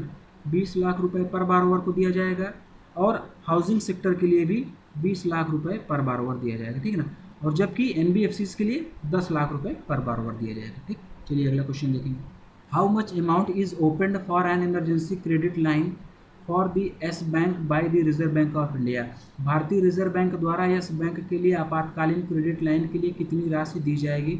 ऑप्शन आप लोगों के सामने है और इसका आंसर हो जाएगा fifty nine thousand crore. Option number C fifty nine thousand crore. Yes Bank के रिकन्स्ट्रक्शन प्लान के बाद में आरबीआई जो है उनसठ हज़ार crore fifty nine thousand crore रुपए की लाइन ऑफ़ क्रेडिट जो है यस बैंक को देने जा रहा है। ठीक इसी तरह की लाइन ऑफ़ क्रेडिट 16 साल पहले 2004 में ग्लोबल ट्रस्ट बैंक को दिया गया था। ग्लोबल ट्रस्ट बैंक भी 2004 में डूब रहा था, ठीक है ना? उस टाइम पे भी उसको बचाने के लिए जो है, उसको भी लाइन ऑफ़ क्रेडिट दिया गया था, लेकिन वो बच नहीं पाया था। बाद में उस बैंक को ओबीसी बैंक में मर्ज कर दिया गया था। ओबीसी बैंक में ओरिएंटल बैंक ऑफ़ कॉमर्स में ग्लोबल ट्रस्ट बैंक को मर्ज कर दिया गया था। और यस बैंक के रिकन्स्ट्रक्शन के बाद में यस बैंक के बोर्ड ऑफ़ डायरेक्टर्स की कुल संख्या कितनी हो जाएगी? क्वेश्चन ये बन के आ रहा है। क्वेश्चन ये भी फ्रेम हो सकता है कि यस बैंक के रिकन्स्ट्रक्शन के बाद में यस बैंक के बोर्ड ऑफ़ डायरेक्टर्स में टोटल कितने मेंबर हैं? यस बैंक के बोर्ड ऑफ़ डायरेक्टर्स में अब टोटल आठ मेंबर हैं। रिकन्स्ट्रक्शन के बाद में उसके बोर्ड ऑफ़ डायरेक्टर में टोटल आठ मेंबर हैं, ठीक? Ramesh Sobti retired as M D and C E of which of the following private sector bank Ramesh Sobti निम्नलिखित में से किस निजी क्षेत्र के बैंक के एमडी और सीईओ के रूप में सेवानिवृत्त हुए हैं? ऑप्शन आप लोगों के सामने है। इन सभी बैंक का हेडक्वार्टर आप लोगों को पता होना चाहिए और इसका जो आंसर हो जाएगा इंस्टूलेंट बैंक ऑप्शन नंबर ही इंस्टूलेंट बैंक के एमडी और सीईओ के रूप में वो सेवानिवृत्त हुए हैं, ठीक है ना? और अब जो है, सुमित कठपालिया सुमित कठपालिया जो है, सुमंत कठपालिया अब जो है इसके अगले चेयरमैन होंगे। इंस्टूलेंट बैंक के अगले चेयरमैन जो है, सुमंत कटपालिया होंगे और अगले तीन सालों के लिए इनको जो है एमडी और सीईओ बनाया गया हुआ है, ठीक है ना?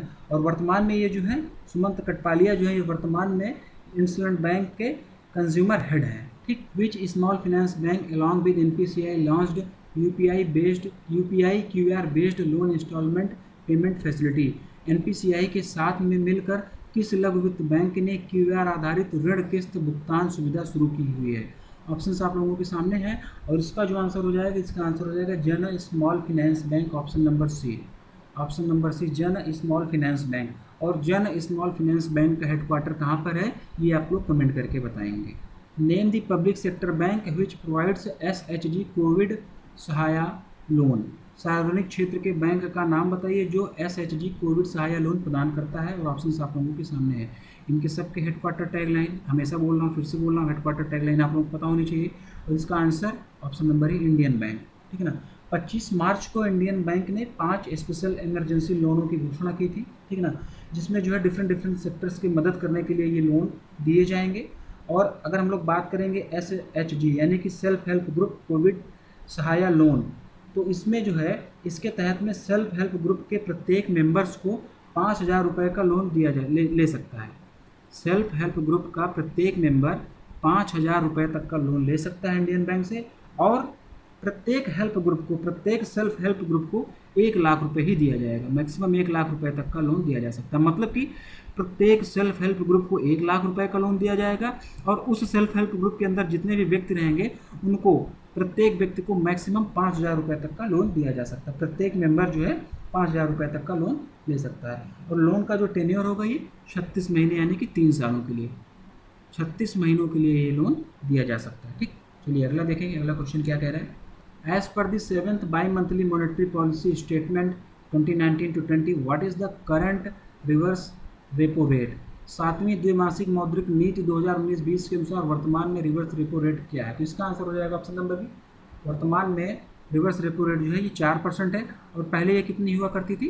पहले ये फोर पॉइंट नाइन परसेंट हुआ करती थी, ठीक है? बाद में कम कर कर ये फोर परसेंटेज हो गई है। और अगर हम लोग रेपो रेट की बात करें रेपो रेट की अगर हम लोग बात करें तो रेपो रेट वर्तमान में फोर पॉइंट फोर परसेंट है और पहले ये five point one five percent हुआ करती थी। 5.15 परसेंट रेपो रेट की बात हो गई। अगर हम लोग एमएसएफ की बात करें, ठीक ना? एमएसएफ की अगर हम लोग बात करें तो वर्तमान में एमएसएफ कितना है? फोर परसेंट वर्तमान में M S F four point six five percent है और पहले ये कितना हुआ करता था? पहले ये five point four zero percent था, ठीक ना?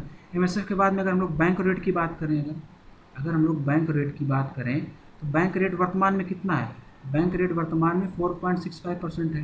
एमएसएफ के बराबर ही बैंक रेट है। और पहले ये कितना हुआ करता था? पहले अभी जो है 5.4 परसेंट हुआ करता था। और अगर हम लोग सीआरआर की बात करें, ठीक है ना? सीआरआर की, यहाँ पर लिख जाओ मैं अगर हम लोग सीआरआर की बात करें तो सी वर्तमान में कितना है? फोर परसेंट है। चार प्रतिशत है। और ये पहले कितना हुआ करता था? तीन प्रतिशत। पहले ये तीन प्रतिशत हुआ करता था और अभी चार प्रतिशत हो गया, ठीक है ना? तो ये हमारा हो गया रेपो रेट ठीक है ना? ये हो गया रेपो रेट ये हो गया एम ये हो गया बैंक रेट ये हो गया सीआरआर और ये हो गया हमारा रिवर्स रेपो रेट ठीक है ना? रिवर्स रेपो रेट अभी वर्तमान में चार प्रतिशत है और पहले फोर पॉइंट नाइन परसेंट है, ठीक? चलिए अगला क्वेश्चन देखते हैं। Ecowrap has estimated India G D P for the financial year twenty twenty one as two point six the Ecowrap is the research team of which of the following ठीक है ना? Eco rap ने जो है वित्त वर्ष 2020-21 के लिए भारत की जीडीपी के अनुमान 2.6 परसेंटेज बताया है। इको रैप, निम्नलिखित में से किसकी शोध टीम है, किसकी रिसर्च टीम है? तो सबसे पहली चीज़ तो ये एस्टिमेट जो हमारा प्रोडिक्शन है, ये भी जानना ज़रूरी है। क्वेश्चन ये भी फ्रेम हो सकता था कि इको रैप के अनुसार इंडिया की जीडीपी 2020-21 के लिए कितने परसेंट रहने वाली है? तो 2.6 परसेंट रहेगी इंडिया की जीडीपी ठीक ना?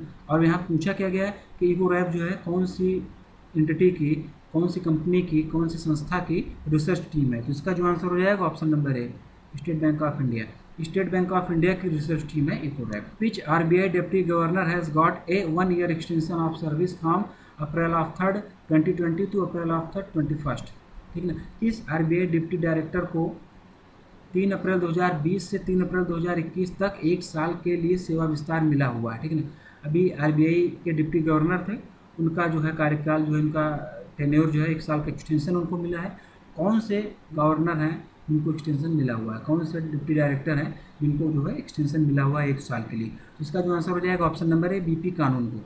बीपी कानून को को एक साल का सेवा विस्तार मिला हुआ है, एक साल की सर्विस एक्सटेंशन मिली हुई है और ये कब से कब तक? तीन अप्रैल 2020 से तीन हज़ार, तीन अप्रैल 2021 तक के लिए, ठीक? अगला और लास्ट क्वेश्चन हम लोग देखेंगे इस वीडियो का। What is the India GDP growth for the financial year 2021 as per the estimate of India rating and research ठीक है ना?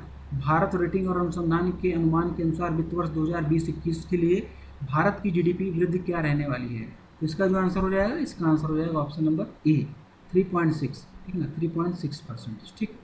इंडिया रैप के अनुसार जो है इंडिया की जीडीपी 2020-21 में तीन दशमलव छः प्रतिशत रहने वाली है, ठीक है दोस्तों, आज की वीडियो में बस इतना ही। आज हम लोगों ने मार्च मंथ की बैंकिंग एंड फाइनेंस अवेयरनेस के सारे के सारे क्वेश्चन मैक्सिमम पॉसिबल क्वेश्चन जो होते थे, वो हम लोगों ने डिस्कस किया। इससे बाहर अब कुछ नहीं आना चाहिए।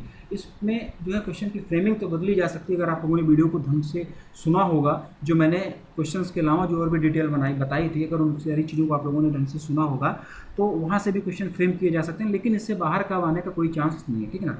तो आप लोग इसको वीडियो को आप लोगों ने अच्छे से देखा होगा। अभी आने वाले टाइम में एक दो दिन के अंदर मैं जो है मार्च मंथ के टॉप हंड्रेड करंट अफेयर्स के क्वेश्चन भी लेके आ रहा हूँ। मार्च महीने के सौ सबसे अधिक महत्वपूर्ण क्वेश्चंस का भी एक मैं वीडियो बना रहा हूँ। उस पर काम मैं कर रहा हूँ। बहुत ही जल्दी आप लोगों को मिल जाएगा। एग्ज़ाम पॉइंट ऑफ़ व्यू से बहुत ज़्यादा महत्वपूर्ण रहने वाला है। इसके तुरंत बाद में जो है मार्च मंथ की स्टैटिक का भी एक वीडियो में लेके आऊँगा। ठीक है ना? ऐसा नहीं। देखिए स्टैटिक में क्या होता है? स्टैटिक में जो है आप लोग अगर एग्ज़ाम्स में जो क्वेश्चन आते हैं, उनका एनालिसिस करें तो आपको ये पता चलेगा कि स्टैटिक्स के जो क्वेश्चन उठाए जाते हैं लास्ट तीन चार महीने में जो न्यूज़ में रहते हैं, वहीं से उठाए जाते हैं। तो हम लोग इन्हीं सारी चीज़ों को ध्यान में रखते हुए हर महीने में जो स्टैटिक्स न्यूज़ में रहेगा, उसी को उठा के ले आएँगे। उसका वीडियो आप लोगों को बना दिया जाएगा, जिससे कि आप लोगों के स्टैटिक्स का भी रिविजन होता है ठीक है ना? और इन सारे वीडियोज़ की अगर आप लोगों को पीडीएफ चाहिए तो फेसबुक ग्रुप है हमारा, आप लोग वहाँ पर जाकर फेसबुक ग्रुप ज्वाइन कर सकते हैं। वहाँ पर मैं लगातार करंट अफेयर्स की क्विजेज वगैरह भी कराता हूँ, ठीक है ना? इन क्वेश्चंस के अलावा भी जो और क्वेश्चन बन सकते हैं, उनकी मैं वहाँ पर कराता हूँ और बहुत सारे लोग वहाँ पर पार्टिसिपेट भी करते हैं और उन सारे क्वेश्चन का आंसर मैं खुद देता हूँ। तो आप लोग वहाँ पर जाकर उसको ज्वाइन कर सकते हैं, ठीक है ना? इसके साथ साथ टेलीग्राम चैनल भी है हमारा, आप लोग वहाँ पर भी जुड़ सकते हैं, ठीक है ना? टेलीग्राम भी आप लोग जुड़कर वहाँ से पीडीएफ ले सकते हैं, वहाँ पर भी मैंने पीडीएफ डाल दी। और इस वीडियो के नीचे देखिए मेरा व्हाट्सअप नंबर भी डिस्प्ले हो रहा होगा। वहाँ से भी आप पर्सनली कनेक्ट होकर पीडीएफ ले सकते हैं, ठीक?